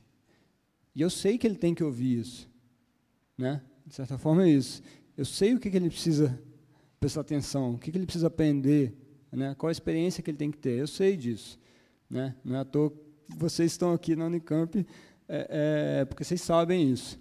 Agora, a, a, e aí, me intrometendo um pouquinho, que a pergunta foi para o Pimentel, mas me intrometendo um pouquinho também, é, e tem tudo a ver com a questão da tecnologia, tem tudo a ver com o Google Classroom, que eu vou mostrar um pouquinho. Acho que não vou ter tempo de mostrar tanto, talvez, quanto vocês estejam ansiosos para ver com a, com a fala do, do Pimentel, mas tem tudo a ver com isso porque é, a informação que você tem que passar para o aluno, a informação que ele tem que adquirir, a habilidade que ele tem que adquirir, a experiência que ele tem que adquirir, você sabe que é aquela. Ele provavelmente concorda com isso, senão ele não estava dentro da sua sala de aula. Só que provavelmente o problema, na minha visão, a resposta para isso é o como. Como que aquele aluno vai adquirir essa experiência? Como que aquele aluno vai adquirir aquela habilidade? Como que ele vai desenvolver aquela competência? Né? É, pensando nesse aluno de hoje em dia, que ele sabe, né, muito melhor do que a gente, mas ele sabe, ele tem certeza de que se ele pegar o smartphone ali, ele tem acesso àquela informação e às vezes através do Expeditions, por exemplo, àquela experiência de várias formas diferentes, que não só aquela forma única, como eu estou fazendo aqui agora, infelizmente com vocês, né, sentado aqui na frente, passando slide e falando, né, falando, falando, falando. Ele sabe que ele tem outras formas de adquirir aquilo, e eventualmente para aquele aluno, especificamente, que às vezes incomoda o professor, porque você está vendo que ele está inquieto ali naquela carteira e ele não, não para, né, que não aguenta mais te ouvir, está louco para sair da, da, da aula, estou só esperando para sinalista às vezes, né? É, porque ele sabe que para ele, mesmo que inconscientemente, ele sabe que para ele aquele formato de experiência não é o melhor. Ele sabe que ele só vai conseguir aprender a hora que ele pegar no celular e assistir um vídeo no YouTube, educação. Ele sabe que, de repente, ele só vai aprender a hora que ele sentar lá e puder botar no computador e ele tentar fazer alguma coisa. E tem outro aluno que aprende de ouvido, né? Tem outro, outro tipo de aluno que vai aprender sentado lá e vendo a sua aula, vendo o slide e tudo mais, fazendo as anotações dele. Então, a questão, eu acho que são, é muito são os formatos. E a grande questão, é, um, das, um dos grandes pontos que a tecnologia pode ajudar muito a gente dentro de sala de aula, né, hoje em dia, é nesse. A gente consegue entregar aulas cada vez mais personalizadas para os alunos porque eu consigo é, é, disponibilizar a informação de várias formas, é, de uma forma viável, onde eu consigo, eu tenho tempo para isso, o professor tem tempo para isso. Ele não precisa dar a mesma aula cinco vezes para atender aqueles cinco perfis de aluno diferentes que ele já detectou que ele tem na sala de aula dele. Ele pode fazer isso de várias formas e dar o acesso, e o aluno vai correr atrás da informação, e o professor vira, como o Pimentel comentou várias vezes, o professor vira muito mais um coach, vira muito mais um facilitador de ajudar cada um a fazer a sua própria caminhada. Né? Eu acho que a, a, o ponto-chave é isso. E a tecnologia está aí para viabilizar isso. Porque é, é, eu estava comentando com alguém antes até de, de, de começar, né? É, pensa naquele professor de educação básica, professor que dá aula lá no Fundamental 2, eu já fui um desses, já dei aula lá para o Fundamental 2, quinta, sexta, sétima série. É, e pensa naquele professor que dá aula em duas, três, quatro, cinco escolas diferentes, tem 200, 300 alunos né, ao longo da semana, dá 40, 60 horas de aula por semana. Né, como que esse cara, num mundo totalmente offline, de é, CUSP-GIS, né, por exemplo, faz uma aula mais personalizada? inviável. Como que esse cara acompanha o que, que o aluno dele está aprendendo ou não? O que, que ele, ele, como ele percebe que o aluno está entendendo ou não está entendendo aquilo que ele está falando? Sendo que a única oportunidade praticamente de sondagem ou avaliação que ele vai ter é aquela prova bimestral e alguma coisa no meio do caminho. Também inviável. Com a tecnologia, é viável hoje, tem professor que faz isso já, é, usando a, a, questão dos formulários do Google, por exemplo, é, é, tem professor que consegue é, acompanhar isso a cada aula do seu aluno, porque ele passa um formulário no final da aula que tem embutido ali nele uma ferramenta de correção automática, vamos dizer assim, onde o aluno responde e o professor já tem uma visão de como aquela turma está, onde que a turma, de maneira geral, está com dificuldade, onde cada aluno teve dificuldade a cada aula, se ele quiser, sem gastar tempo de passar uma avaliação dentro da sala de aula, receber aquilo e corrigir. Então, a tecnologia está aí para viabilizar esse tipo de coisa, viabilizar que, que a, a, a, experiência do aluno seja cada vez mais personalizada, cada vez mais individualizada, de certa forma. É principalmente isso. É, deixa eu passar os slides aqui. Já falei um monte né, à frente dos slides. Vocês é, não se preocupem, eu faço isso às vezes. É, mas, assim, a, é, é, a, gente fez, de certa forma, uma introdução. E a ideia aqui que eu é mostrar um pouquinho para vocês, isso, assim, uma, uma, uma, visão geral da plataforma do que, que é o Google Apps for Education, tá? É, do ponto de vista do docente, do aluno e mesmo do, do funcionário da instituição. Né? É, e algumas coisas onde a gente pode ir além, né? onde a gente pode inovar, o que, que a gente pode fazer de diferente com alguns exemplos. Tá? Então, essa é a ideia é, mais na prática aqui.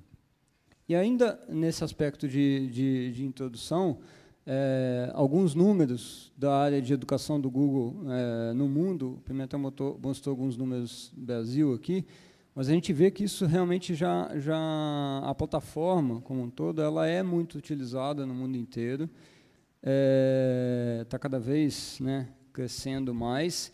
E muito utilizada, uma coisa que a gente percebe muito nas, na, nas instituições é, como, como Unicamp, por exemplo, é, sempre tem uma dúvida, às vezes, ali de quem está é, com a mão na massa, lá querendo começar a usar a tecnologia que para aquela instituição é nova, de repente, é, mas quem já usa isso aí? Né? Quem já fez e já testou e de repente viu se deu certo ou se não deu certo? Né?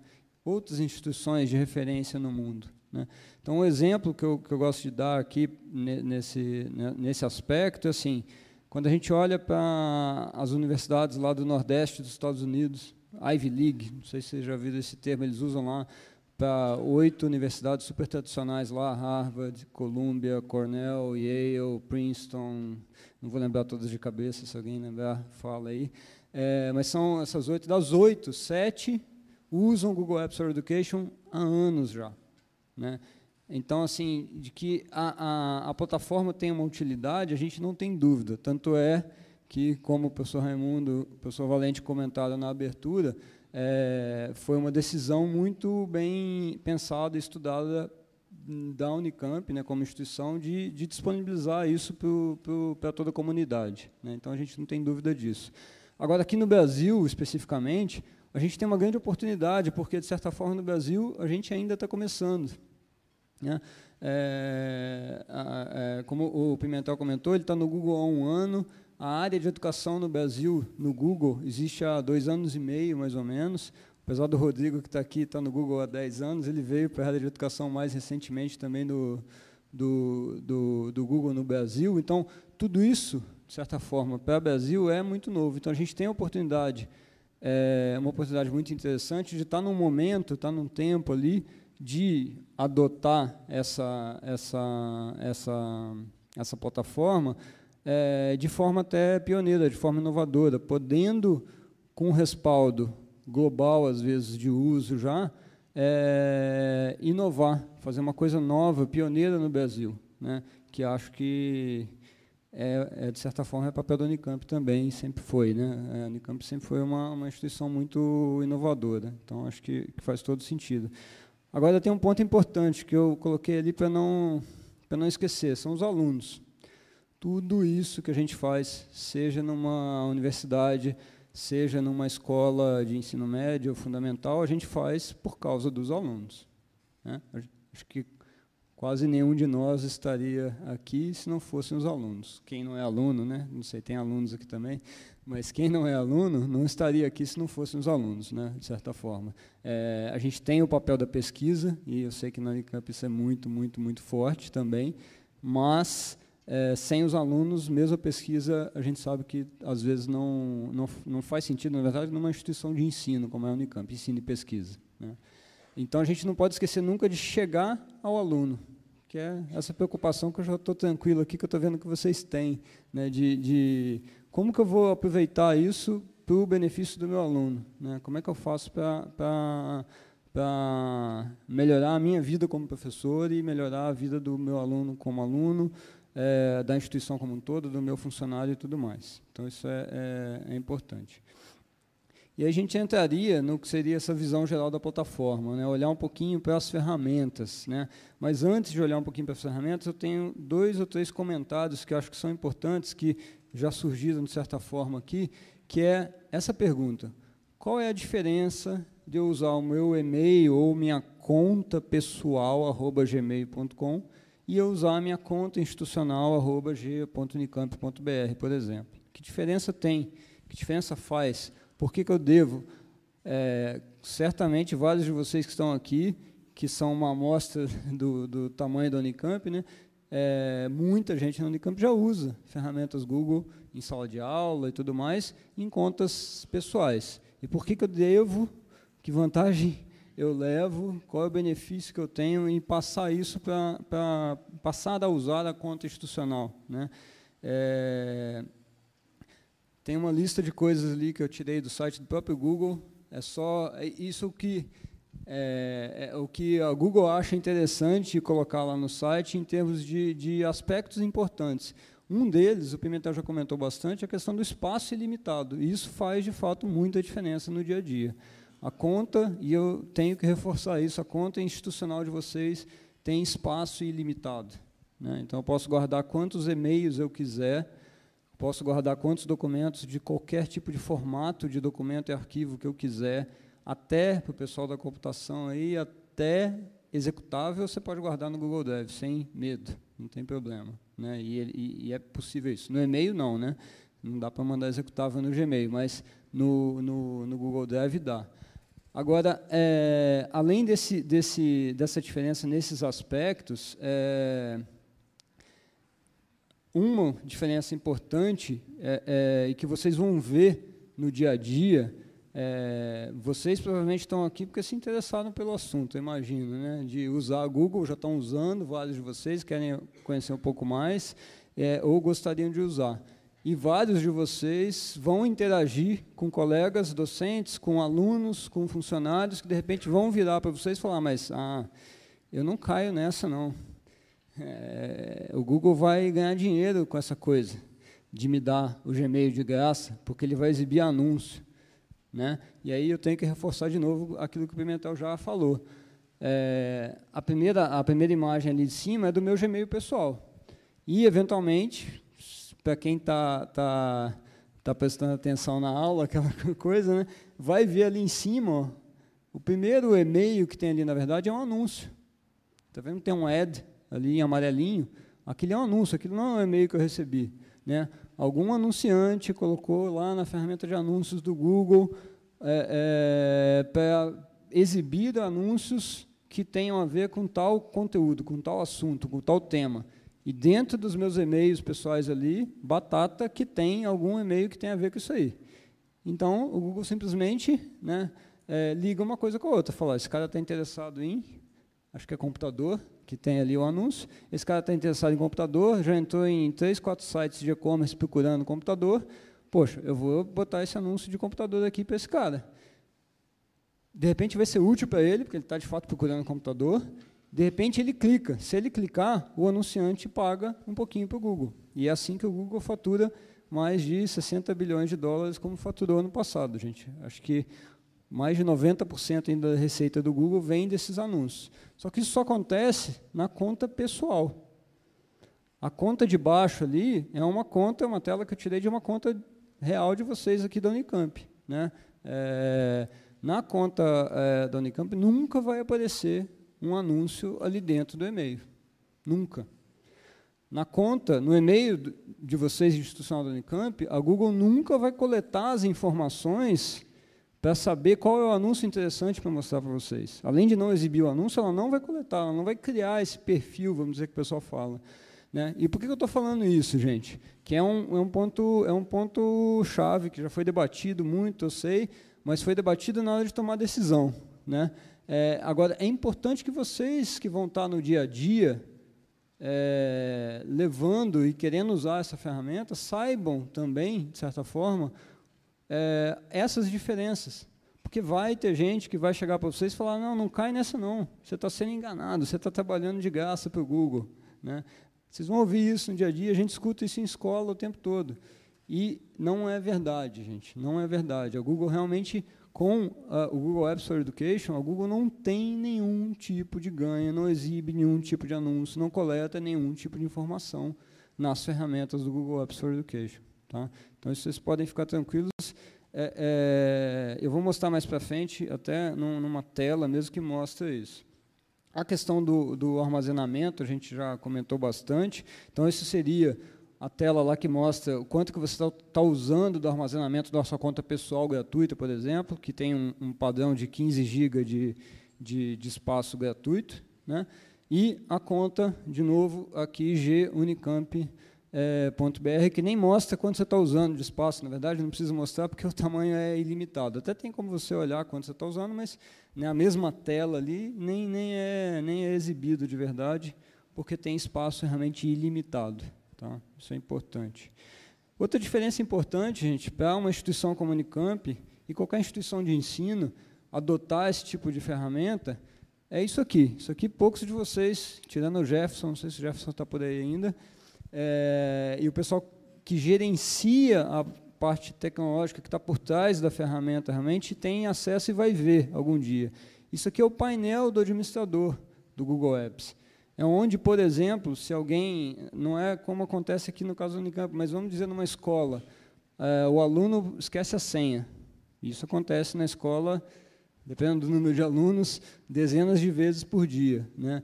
Se a escola não tem um sistema como a Unicamp já tem aqui de, de, de recuperação de senha, por exemplo, eventualmente a escola vai pedir para um administrador do Google Apps ir lá e trocar a senha daquele aluno. Significa o quê?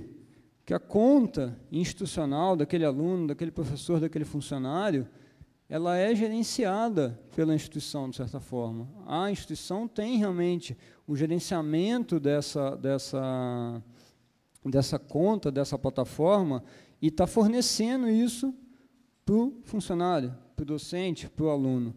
Isso é super importante. Sem algo assim, é, uma instituição como a Unicamp nunca poderia realmente adotar a, a, uma plataforma dessa, porque não teria nenhum tipo de gerenciamento. Apesar das contas serem limitadas, vamos dizer que fossem, a, a Unicamp, cada um ia estar, tá, a Deus dará, né, com a sua própria conta, é, é, se auto se autogerenciando, é, tendo que correr atrás de recuperar a senha sozinho, por exemplo, que às vezes nem sempre é simples, e por aí vai. Então, o importante nesse aspecto aqui é dizer isso.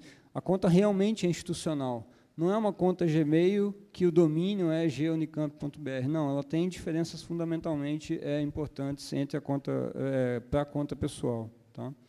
É, aqui um exemplo. É, quem aqui já mexeu numa loja de aplicativos de celular? Play Store, App Store. Acho que todo mundo, não precisa nem levantar a mão, né, gente? Celular hoje em dia é, já é aquela coisa, já tem mais celular no Brasil do que gente, eu acho, né? É, há bastante tempo. Agora, quem aqui já mexeu na loja de aplicativos que tem dentro do navegador Chrome? Tirando o Marcelo aqui, que é nerd como eu há muito tempo. Bastante gente também, mas muitos nunca mexeram. O navegador Chrome também tem uma loja de aplicativos. Dentro dessa loja de aplicativos do navegador Chrome, existe lá uma seção educacional, por exemplo. E tem de tudo. Os aplicativos não são desenvolvidos diretamente pelo Google. O Google está fornecendo uma plataforma e tem desenvolvedores espalhados no mundo inteiro, desenvolvedores independentes, empresas, desenvolvendo aplicativos que rodam no Chrome, de certa forma, que não precisam ser instalados você tem acesso através da sua conta. Você ativa aquele aplicativo para rodar na sua conta. Né? E aí, de novo, vem uma diferença da conta institucional. É possível, na conta institucional da Unicamp, se a Unicamp, por exemplo, decidir e falar, olha, eu vou distribuir, eu vou dar acesso, eu vou disponibilizar automaticamente determinado aplicativo de controle de frequência, sei lá, né, o que vocês vão inventar. Mas é possível institucionalmente a Unicamp distribuir para todos os docentes, por exemplo, um determinado aplicativo que pode ser interessante, sem depender, sem ficar na dependência de que cada docente saiba que aquele aplicativo existe, ensine o docente a, a, a, a localizar, a instalar, a ativar e a usar. Isso já vem pré-instalado. Isso só é possível na conta institucional, porque na conta pessoal também não é possível. Né? Então, essa é uma outra diferença importante do ponto de vista institucional, é a possibilidade de customizar, de personalizar a plataforma para o uso que aquela instituição acha importante. Então, o Google Apps for Education é usado, a gente viu lá, por mais de 50 milhões de usuários no mundo, mais de 10, sei lá quantos mil milhões de instituições espalhadas no mundo, é, só que cada uma delas usa isso de uma forma diferente, porque é uma plataforma que tanto do ponto de vista tecnológico, pode ser customizada, quanto do ponto de vista do uso mesmo que vai ser feito, é cada um vai usar de um jeito, tanto do ponto de vista da instituição, quanto do ponto de vista de cada professor, cada docente, cada aluno também. Então, isso é, é, outra, é outro ponto interessante. Né? E agora, de fato, vamos entrar um pouquinho nos, nos, nos aplicativos, né, que a gente tem lá. Aqui eu queria mostrar só aquele slide que eu comentei, é, é, que tem alguns dados interessantes também. É, isso aqui é levantamento que a Google fez, dados reais mesmo, é, de alguns números. Então, o pessoal que trabalha é, em sala de aula, o professor que está em sala de aula, ele economiza tempo, economiza 52 horas é, é, é, em média, usando a tecnologia ao longo, ao, longo, ao longo do ano, se não me engano, de um ano, por exemplo. Né? E a gente vem com, com a explicação de cada informação aqui. Né? É, 90% menos trabalho de suporte. E aí, quando a gente está falando de suporte, não, não, acho que não vai dar para ler, mas assim, que tipo de suporte? É é, manutenção de máquina, manutenção do servidor, antivírus, instalar, atualizar, limpar, coisas desse tipo. Né? O Google Apps funciona A Unicamp tem uma garantia de que o Google Apps vai funcionar por 99,9% do tempo, sem paradas para manutenção. Google Apps não tem parada programada de manutenção, não existe. Quando para é porque está com algum problema. Mas eu garanto para vocês que para bem menos do que esse 99,9%, é bem menos do que 0,1% do tempo que acontece de parar alguma ferramenta do, do Google Apps. Então, você tem uma estabilidade muito boa, uma tranquilidade muito boa de que você vai acessar as suas informações quando você precisar, e aquilo vai estar funcionando. E aí a gente sabe que é, manter um ambiente como o Moodle, como o Teleduc, como a Unicamp mantém ainda hoje, e vai continuar mantendo, porque são características muito diferentes, as, as ferramentas também, né? É, é, muito difícil, dá muito trabalho manter isso disponível para os usuários. Né? É, e a Google dá uma garantia, que está lá em contrato mesmo, de que isso vai estar tá disponível por, no mínimo, 99,9% do tempo. Né? Ali, se a instituição, o 329% ali de retorno sobre investimento, é pensando, a instituição pensando se ela for é, é, adquirir, por exemplo, a questão dos Chromebooks, que a gente comentou um pouco, o Pimentel comentou um pouco, vocês viram lá fora, é, alguns, alguns Chromebooks é, em demonstração, imagina que a instituição vai montar um laboratório novo, e vai disponibilizar computadores naquele laboratório, ou vai equipar determinado curso com computadores. Né? Quando a gente faz a conta ao longo de três anos, é, entre comprar e montar esse laboratório usando o Google Apps for Education, mais Chromebooks, por exemplo, em comparação com sistemas tradicionais que já estão no mercado há mais tempo, né, de, de máquinas e sistemas operacionais e plataformas que vão ser usadas, o Google Apps tem uma economia de 329% ao longo de três anos em relação a sistemas tradicionais. Então, gera economia realmente de custo para a instituição. E quando a gente, ainda mais, né, quando a gente está numa instituição pública como a Unicamp, a gente tem, é, além de ter essa preocupação, a gente é muito cobrado por isso. Né? A gente tem que prestar contas né, de, de forma muito, muito detalhada, muito precisa em relação a isso. Né? Desde, eu lembro lá, eu, eu fui bolsista da FAPESP, a gente tinha que prestar conta lá no relatório semestral, reserva técnica e tudo mais, é, é, uma coisa super detalhada que você tem que apresentar. Então, não é, não é brincadeira, e quando você consegue mostrar que a instituição, de repente, economizou ao adotar a plataforma e, e usar, é, é, muito interessante né, em, em, relação a isso. E ali que a gente estava comentando, é, é, zero de custo. A plataforma toda é gratuita, e o ponto principal é o que está escrito ali embaixo do, do, do zero dólares ali, é o que eu já falei, mas está escrito. Isso está no site da Google para Educação, gente. Se vocês entrarem lá, google.com/edu, é, clicarem em produtos ali, se não me engano, um dos itens que está na página deles lá é isso, está escrito lá, o Google Apps é gratuito para instituições educacionais sem fins lucrativos, não exibimos anúncios em contas educacionais e não procuramos informações para fins publicitários. Então, além de estar nos contratos formais mesmo, nos textos que o pessoal analisou e tudo mais, isso está publicado de forma muito clara e muito transparente na, na página que está lá. Não é brincadeira isso. Isso é sério e eles levam isso muito a sério. Já organizei um monte de evento com o Rodrigo que está aqui e uma preocupação sempre enorme deles é a Google coletou, por exemplo, é, os nomes das pessoas que estão interessadas em participar de um evento. Imagina a situação. O Rodrigo está trabalhando com, comigo e eu sou da For Education, como parceiro da Google, né, para ajudar nesses projetos. É, e ele coletou os nomes das pessoas que se inscreveram para o evento. Ele não pode passar esses nomes para mim que estou organizando o evento, porque esses nomes foram fornecidos ao Google e o Google não compartilha informação dos usuários com ninguém. Então, toda vez que a gente vai organizar um evento, ele fala, você tem que gerenciar as inscrições, senão eu vou, eu vou gerenciar e não posso te passar os dados, você não vai saber quem se inscreveu. Né? Então, a gente, é, é isso é muito sério para eles, gente. Isso não é brincadeira, eles levam isso muito, muito a sério mesmo. Tá? Essa questão de privacidade, segurança e tudo mais. Né?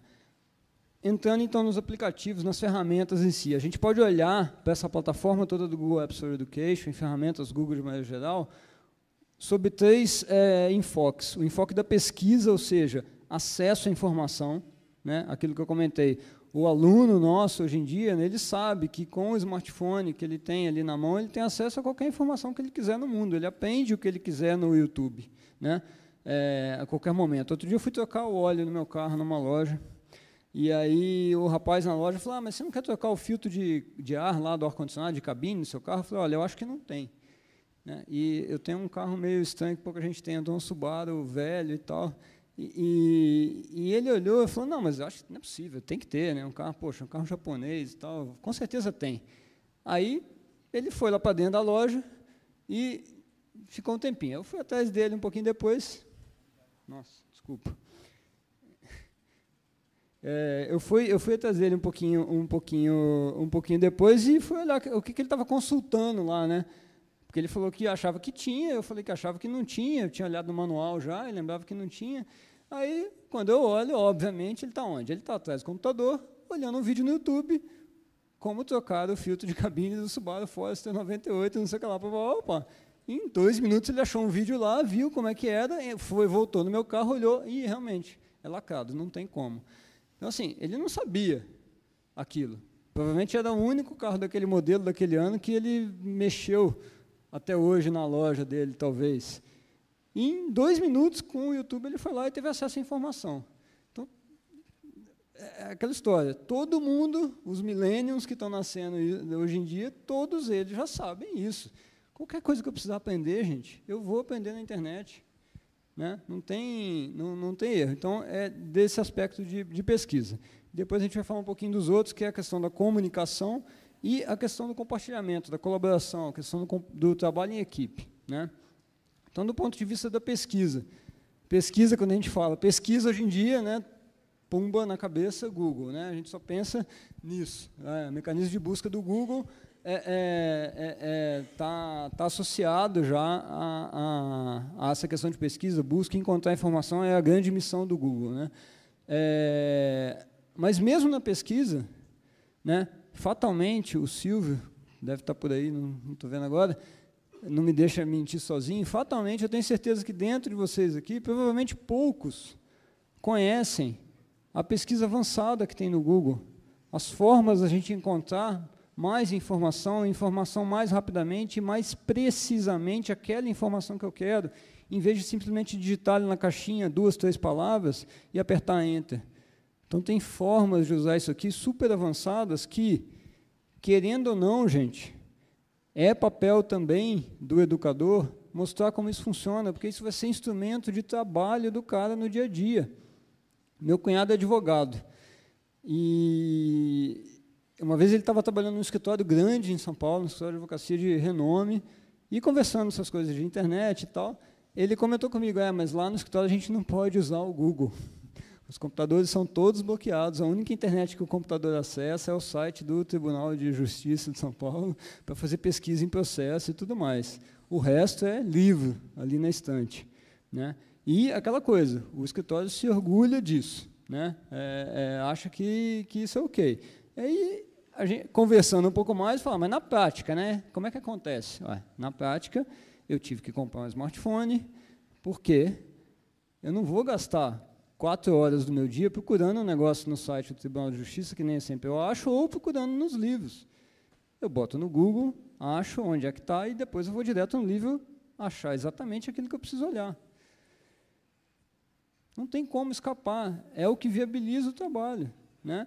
Então, assim, por mais que a gente tente, às vezes, é, é, bloquear ou até mesmo é, desviar, né, se enganar, para o profissional que vai trabalhar hoje, que está trabalhando hoje, amanhã e depois, isso é essencial. Então, a gente tem que orientar aquela coisa do facilitador. E a gente fala, ah, deixa o aluno usar do jeito que ele quiser, sem orientação nenhuma, a busca no Google, porque eu, professor, não aprendi isso na faculdade, de, quando eu fiz pedagogia ou quando eu fiz meus cursos de licenciatura, e eu não sei direito como usar, e o aluno vai lá e se vira, o que, que é melhor? a gente abrir mão disso e entregar para o próprio aluno, que é imaturo, está se formando, está conhecendo ainda às vezes, ou isso é papel também do professor. Por mais estranho que pareça, gente, é papel do professor ensinar os alunos que estão lá no Fundamental 2, por exemplo, a usarem a busca do Google de forma correta? Né? É ou não é? Não tem a resposta, gente, mas pensem nisso. E o pessoal que está lá em sala de aula, no Fundamental 2, hoje em dia, lá do Mater Day, por exemplo, está pensando nisso no dia a dia. E estão testando, estão aprendendo com isso. Né? Por quê? Outra historinha interessante. Um amigo meu que eu trabalhei um tempo atrás, ele, ele, ele, a gente trabalhava já com, com internet e tudo mais, ele, ele sempre falava isso para mim, gente, não importa qual é a palavra, o que, que você coloque na busca do Google, que sempre aparece uma foto indevida, vamos dizer assim. Né? Porque as pessoas botam lá é, é, nomes e assuntos nas fotos que eles querem que apareçam em assuntos que, na verdade, não tem nada a ver com aquilo. Né? É, e, de fato, é verdade. Agora, é verdade quando? Quando a gente não configurou a, a busca de forma correta. Então, no caso de uma instituição de ensino, escolas, isso é muito crítico. O administrador, lembra que eu falei do administrador que está por trás lá no painel? Ele entra lá em dois, três cliques, ele configura para todos os alunos dele aquele filtro que é, chama Safe Search, que ativa uma busca segura no Google. E automaticamente os resultados de busca vão ser filtrados. Então o aluno pode usar em sala de aula, o professor pode abrir a busca no Google em sala de aula, pesquisar o que ele quiser, sem ter medo de aparecer uma foto lá que não deveria para uns alunos do quinto ano, por exemplo, do Fundamental 2. Né? Então, isso é, é, é, tranquilo, isso é viável. Tem que aprender é, pesquisar, usar um pouco melhor a ferramenta. O YouTube é uma ferramenta de pesquisa. Né? É lá que eu vou encontrar informações também é, é, não deixa de ser. Então, às vezes, a gente não olha, não lembra do YouTube como uma ferramenta de pesquisa, porque a gente só está pensando, ah, o YouTube só tem vídeo de porta dos fundos, mas não. Né? Tem um canal YouTube educacional, é, é, como o Pimentel disse, é, é, uma parceria aqui no Brasil da Google com a Fundação Lema para fazer curadoria mesmo de vídeos que vão para esse canal. Se você digitar youtube.com/edu, edu, vocês vão entrar nesse canal educacional, vocês vão ver que tem conteúdo super interessante. O conteúdo que está lá ainda no Brasil não, não tem um foco de ensino superior ainda. É muito mais ensino médio, fundamental 2. É, cabe a todos nós aqui, todos vocês, de repente começarem a colocar coisa lá também, que vão ser, vai, vai ser mais relevante para ensino superior, por que não? Né? É um recurso interessante de pesquisa. A pesquisa na loja do, do Chrome, que eu comentei, né? É, ah, mas pesquisa, isso é uma ferramenta de pesquisa, não é uma loja de aplicativos. Né? É uma loja de aplicativos, mas através dos aplicativos eu posso ter acesso a informações que eu não tinha. Então, aquele primeiro aplicativo que está ali, GeoGebra, pessoal de matemática no ensino básico usa demais, demais, demais, que você consegue demonstrar coisas de geometria, por exemplo, animadas, que, poxa, na lousa, no giz, na apresentação de slides, o professor não consegue. Muito difícil. Gasta, às vezes, horas né, desenhando no quadro para conseguir demonstrar uma coisa que, num aplicativo desse que consegue animar aquela coisa, às vezes até em 3D lá, né, é, em dois, três cliques, o aluno enxerga aquilo. Quiséramos nós né, sermos alunos nessa época que a gente tem essa possibilidade. Né? Ia ser tudo muito mais rápido, é por isso que eles estão nessa velocidade toda aí. Então, a gente pode olhar para a loja de aplicativos como uma ferramenta de pesquisa, porque lá eu vou encontrar informações, eu não vou encontrar só aplicativos, essa é a questão. Né? E o aluno sabe disso. Ele quer aprender sobre qualquer coisa. Como o Pimentel comentou, ele vai lá no celular dele e instala o aplicativo do Coursera. E eu posso fazer um curso do MIT, posso fazer um curso da Unicamp, posso fazer um curso da Fundação Lema. Tem até curso nosso lá, do Google. é bem, é, bem é, é incrível esse acesso hoje em dia. Né? É, olhando então para a plataforma é, do ponto de vista da comunicação, de certa forma é um passo adiante. Né? Uma coisa é eu é, ter acesso à informação, a segundo, o segundo aspecto seria eu vou me comunicar, né? eu vou passar essa informação para frente, vou discutir, vou criar informação, vou criar conhecimento, como é que eu me comunico? O que, que eu tenho na plataforma que viabiliza isso, por exemplo? O e-mail, né, que a gente está careca de, de, de, de, saber e usar. Né, uma ferramenta básica de comunicação e que vai estar disponível, está disponível já na, na, na, na plataforma para vocês. Né. É, mas a gente tem coisas, como o Pimentel chegou até a citar aqui, como isso aqui, ó, Google Sites. Quem aqui já mexeu no Google Sites, gente? Ferramenta de construção de sites do Google. Provavelmente pouca gente. No entanto, esse site que vocês estão vendo aí na tela é da Química daqui, da Unicamp. Tem alguém da Química aí?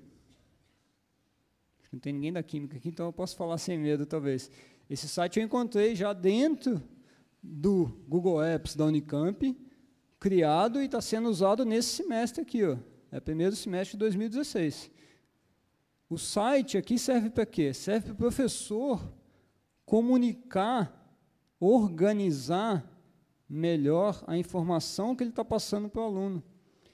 Em vez de depender do aluno entender aquela sequência de aulas que o professor está passando, só com o que ele anotou e tudo mais, o professor pode organizar isso de outra forma num site, onde o próprio professor vai conseguir fazer esse site, tanto é que está aí na tela, gente. Nem nós aqui que estamos trabalhando com o pessoal do GGTE, da computação, nem o pessoal do Google veio aqui na Unicamp até o momento ensinar a usar Google Sites. Eu sei que tem o pessoal do EA2 e tudo mais, EA2, né, que dá alguns cursos, não sei se eles já abordaram Google Sites. Mas o fato é, é uma ferramenta que é viável do professor e do aluno pegar, se apropriar e sair usando. E vão fazer coisas que a gente não faz nem ideia. E é uma ferramenta de comunicação. Por quê? Eu consigo, professor, comunicar, passar para frente aquelas informações e organizar aquelas informações de uma forma que só na sala de aula ele não tem como. Né? E o aluno tem acesso a localizar aquilo de novo aí para frente. O professor pode manter isso aqui, ou aproveitar isso aqui que foi criado no primeiro semestre de 2016, aproveitar para o próximo semestre, para o próximo ano, né? melhorar.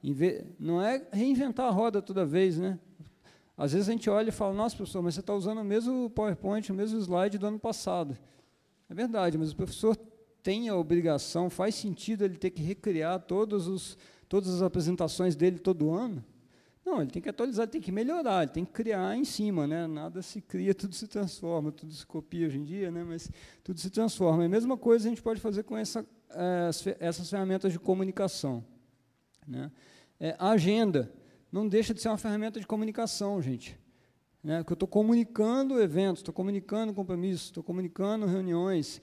Eu peguei o exemplo aí, acho que não vai dar para ler. Eu consigo pegar na ferramenta do Google Agenda, quem gosta de futebol aqui? Um monte de gente, né, eu acho. A gente consegue pegar ali na agenda é, e, e, adicionar automaticamente na nossa agenda do Google o calendário do Campeonato Paulista. E eu botei ali a Ponte Preta e o, e o Guarani eu peguei a agenda deles do Campeonato, Campeonato Paulista, acho que está acabando já, então não tinha muita coisa, né? Eu não acompanho futebol, não sei nem quando é que acontecem os campeonatos, tá, gente? Eu botei aqui porque eu sei que muita gente gosta de futebol e acompanha. Então a gente consegue botar ali na agenda, por exemplo, isso.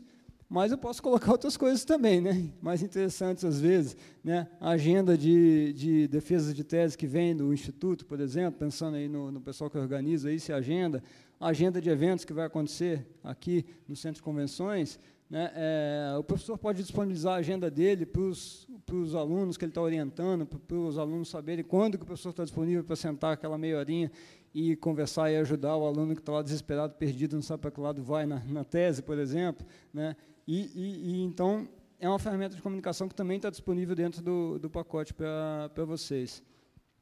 Essa ferramenta que chama Google Groups, é uma ferramenta que, quando a gente olha para ela originalmente, inicialmente, é o quê? É uma lista de distribuição de e-mails, tá certo? Igual a gente tem as listas de distribuição de e-mails aqui. Só que dentro do Google Apps, como o Google Apps são uma série de ferramentas todas integradas de forma nativa, Google constrói tudo isso já integrado, o Google Groups é muito mais do que só uma lista de distribuição de e-mails. O professor pode ter aquela turma, daquela disciplina, daquele ano, daquele semestre ali cadastrada num grupo e além de usar para mandar e-mail para os alunos, através de um endereço só, em vez de mandar para 10, 20, 30, 40 é, endereços, ele pode, por exemplo, criar uma pastinha lá no Google Drive, onde ele vai combinar com os alunos e falar, olha, meus alunos, eu vou botar tudo que vocês precisam acompanhar, que eu vou indicar para vocês de, de material, de textos aqui nessa pasta, e estou compartilhando com vocês. Cada vez que o professor coloca isso lá naquela pasta, imagina se ele tivesse que compartilhar individualmente com cada um daqueles 40 alunos dele. O professor rapidamente ia desistir de fazer isso, tá certo? Se para cada coisa que ele coloca ele tivesse que pegar os 40, lembrar, achar os endereços de e-mail, compartilhar individualmente com cada um deles, ele vai desistir de fazer uma hora porque dá muito trabalho. Com o Google Groups ele não tem esse trabalho, porque ele tem um endereço do grupo que contém todos aqueles alunos dele. E ele dispara isso automaticamente para aqueles alunos. Então, eu posso compartilhar qualquer coisa no Drive, posso compartilhar qualquer coisa na agenda, posso é, mandar e-mail também, mas eu posso compartilhar as outras, um site, posso compartilhar a partir das outras ferramentas do Google Apps através do, dos grupos. Hangouts, gente. Ferramenta de Hangouts. Hangouts é uma ferramenta super poderosa hoje em dia.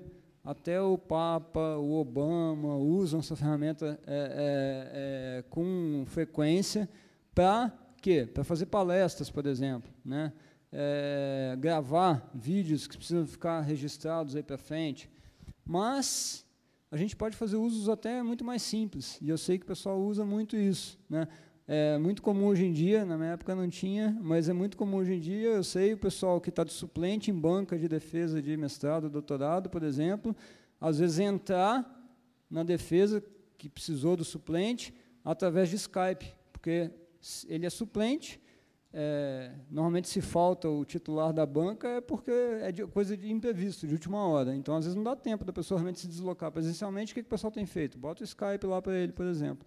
A gente pode fazer a mesma coisa com o Hangouts, com uma série de vantagens por estar integrado já dentro da conta institucional, por exemplo. Esse exemplo aqui para vocês, quem imagina o que, que é isso, gente? É uma aula em faculdade? Essa foto, essas duas fotos aí. Não é. Isso aí é reunião de pais em escola.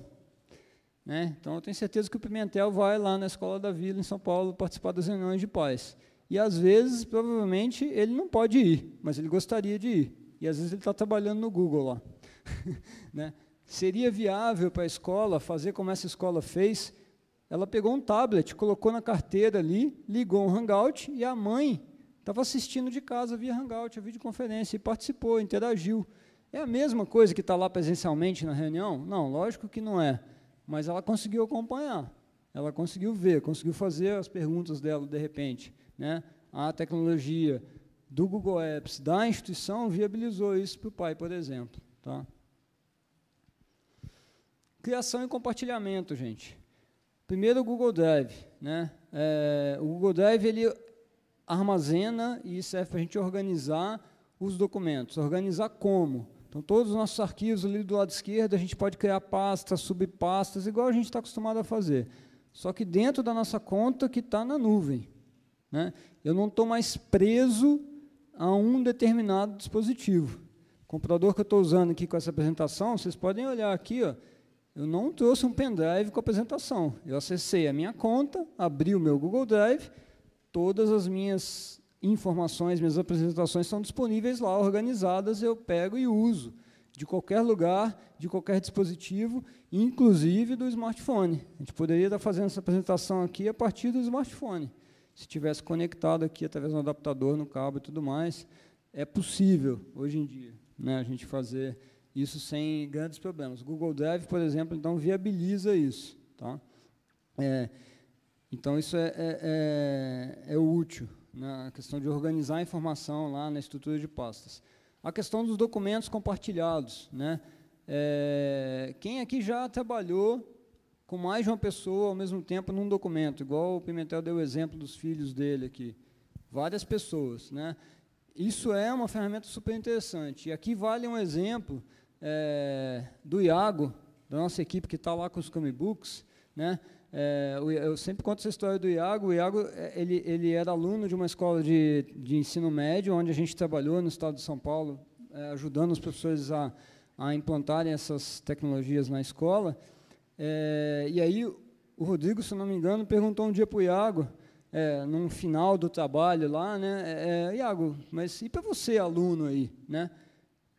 O que, que mudou na sua vida de aluno essa história toda de Google Apps for Education na escola aqui?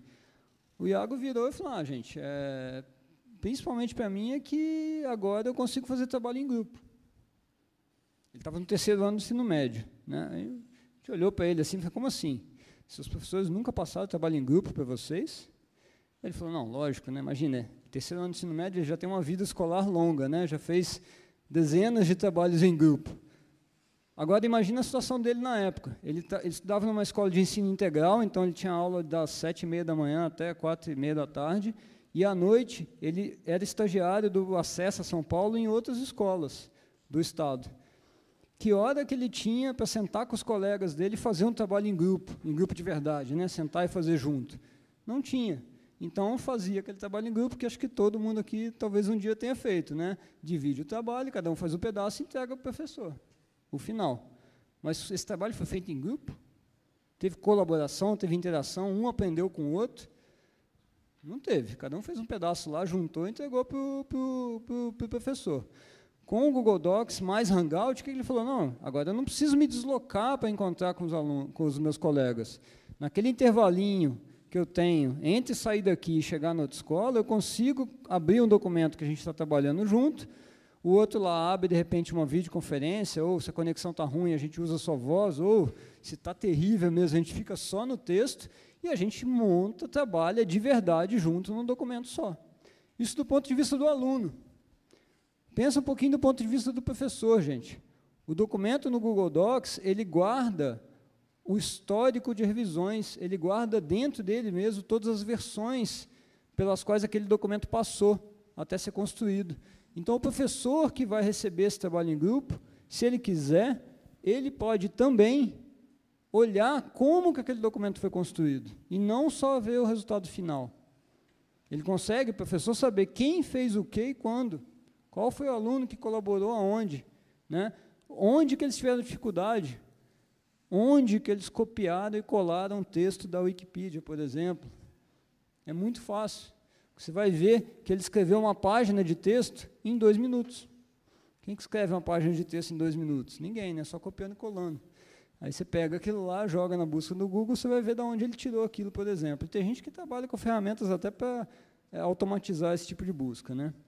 Então, esse tipo de ferramenta viabiliza tudo isso quando a gente está trabalhando em grupo de verdade. Né? Ferramenta de texto, planilhas que mexem com gráficos, então tem a ferramenta de planilha dentro do Google Drive, né, que permite trabalho compartilhado, colaborativo. É, os formulários que a gente já citou aqui, onde é possível automatizar a correção, onde é possível fazer simulados em larga escala, como foi feito no Estado de São Paulo, 400 mil alunos respondendo uma prova, né, é, usando formulários, e ter o resultado disso segmentado e tabulado instantaneamente. Instantaneamente, gente. O aluno responde lá, se você tiver com a planilha de resposta aberta, você vê. Sem ter que recarregar a página, você vê aparecer a resposta do aluno, e se você tiver um gráfico associado àquele dado lá, igual a gente viu aqui anterior, o gráfico atualiza automaticamente, você não tem que mandar fazer o gráfico de novo. Né? Tudo instantâneo e automaticamente, agilizando a vida do professor. Né? Aqui, por coincidência, é, aquela pergunta que o, que, o, que o Pimentel fez, quem já, já usou, conhece o Instituto Cultural do Google? Né? E a resposta aqui não foi diferente dessa pesquisa que a gente fez com professores do Estado de São Paulo, onde 97% disseram que já tinham usado a busca, mas só 2,5% disseram que já tinham usado o Instituto Cultural do Google. E é uma ferramenta que está aí dentro do pacote que permite eu levar o meu aluno para conhecer uma obra de arte lá na Pinacoteca do Estado de São Paulo, em detalhes, de uma forma que ele não vai conseguir ver se ele for presencialmente lá, porque ele não pode chegar perto o suficiente do quadro, às vezes, para ver o detalhe que ele vai ter na foto que está publicada no Instituto Cultural do Google. Eu estou dizendo isso, não é, eu não entendo nada de arte, gente. Estou dizendo isso, estou repetindo o que professores de arte me disseram. Falaram que é melhor para você analisar a, pincelar, a pincelada do pintor, por exemplo, entender o detalhe de como ele criou aquela obra, é melhor usar no Instituto Cultural do Google do que ir até Paris, entrar no Louvre para ver a Mona Lisa lá, né, que é um quadrinho desse tamanho, cheio de japonês na frente tirando foto, e você olha lá assim e fala, nossa, legal. Mas, né, ou Teatro da Capela Sistina, é uma coisa incrível, mas você olha aqui, é uma experiência diferente também, é uma coisa a mais, se você não tiver oportunidade de ir até lá ver presencialmente. É diferente. Fazendo gancho de novo com aquilo. A gente traz possibilidades diferentes do aluno aprender do jeito que é melhor, que é mais viável para ele. né? através desse tipo de ferramenta. Eu já estou no indo além, né, gente? Eu nem comentei. Né? E o indo, o indo além, a gente pode comentar aqui, eu peguei a, a, a imagem do ensino aberto, a gente pode comentar que tudo isso que a gente está falando se integra e trabalha junto com as plataformas que a gente já tem disponíveis, que o professor já está acostumado a usar. Então, o professor que vai colocar, através do Teleduc, um paper para um aluno, esse paper pode estar lá no Google Drive, o texto pode estar no Google Drive, ele vai inserir no Teleduc do jeito que ele está acostumado. Não tem conflito, não tem problema em relação a isso. Vai usar no Moodle do mesmo jeito, vai trazer coisas do Moodle, do Teleduc para dentro de um Google Doc, de uma pasta no Google Drive, e por aí vai. Né? Então, a gente pode fazer é, mashups e coisas é, diferentes, assim como é, por exemplo, aqui os cursos lá na Khan Academy, por exemplo. Né? É, o que, que, tem de interessante nesses cursos do Khan Academy? O vídeo aqui está no YouTube, na verdade. O professor ele montou o curso dele com coisas que estão disponíveis. Ele fez um mashup, ele remixou coisas que estão por aí. Né? Então, a gente pode ir além nesse sentido. Eu posso aproveitar cursos que eu tenho prontos no Teleduc no Moodle, começar a misturar com coisas do Google e fazer uma coisa nova, mais interessante para os alunos. Né? E aí a gente chega no Google Classroom, no Google Sala de Aula, que é uma das plataformas que permite isso. Né?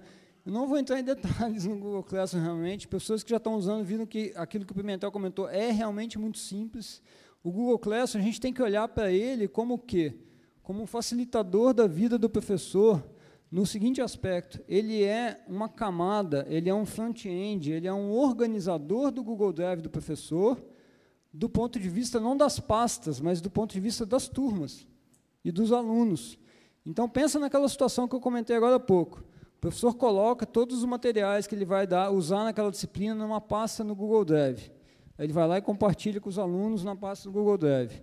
Quando os alunos têm que acessar aquele conteúdo, ele tem que ir até o Google Drive deles acessar. Aí o professor marca o cronograma de aulas e provas na agenda do Google, tá certo? Ah, vou usar a agenda, legal e compartilha aquela agenda com os mesmos alunos. Ótimo. Aí o aluno, quando ele quer saber quando que ele tem que estudar aquele texto que está no Google Drive, porque vai ter uma avaliação ou vai ser tratado daquele assunto na aula seguinte, ele tem que ir até a agenda. E aí o aluno e o professor começam a ficar maluco, porque uma hora ele tem que ir no Google Drive botar um negócio, outra hora ele tem que ir na agenda marcar outra coisa. E aí gasta-se tempo.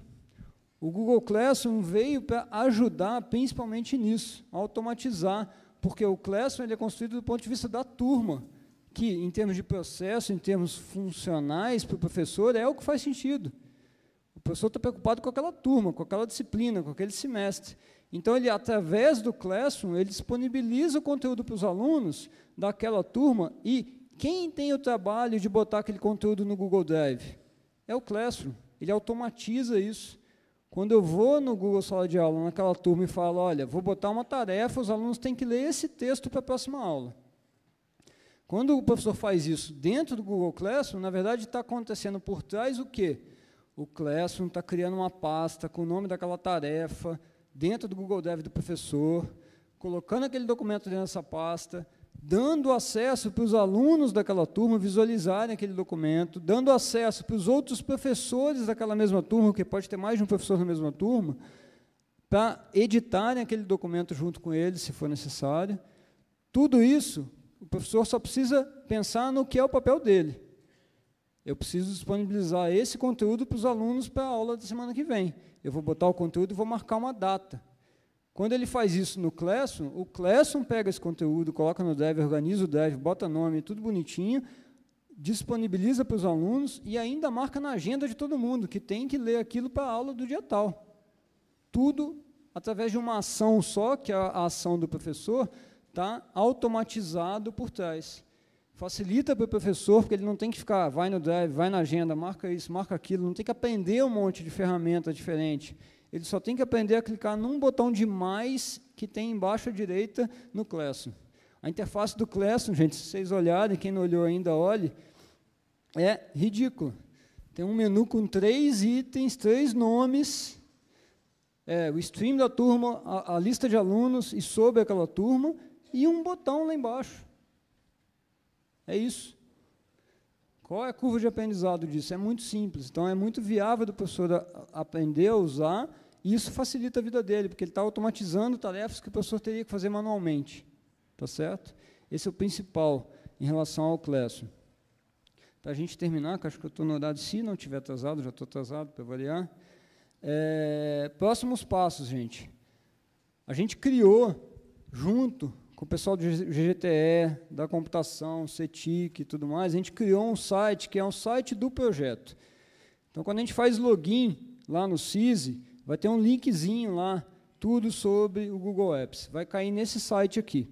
E nesse site a gente tem Entenda a Parceria, tem o evento que é o que já aconteceu hoje, tem lá para o docente, para o universitário, para os alunos, para o funcionário, tutoriais para smartphone, que o pessoal da computação já fez, um, uma lista de perguntas frequentes, e dentro de cada área dessas ali, docente, universitário, é, é, funcionário, tem tutoriais sobre as ferramentas. Então, se a gente navegar até o site, e aí, é, opa, a gente tem aqui também na tela, na próxima tela, é, a gente criou um link curto do site que é importante vocês, é, de repente, guardarem. Tem o QR Code aí, quem quiser tirar foto na tela, anota, passa para os colegas, por favor, gg.gg barra Google Unicamp, ou o Smart, o QR Code ali, vai cair nesse site, lá tem tutorial, tem FAQ, tem como acessar, é, é, a, como cair na página de login, que é simplesmente googleapps.unicamp.br, a página de login.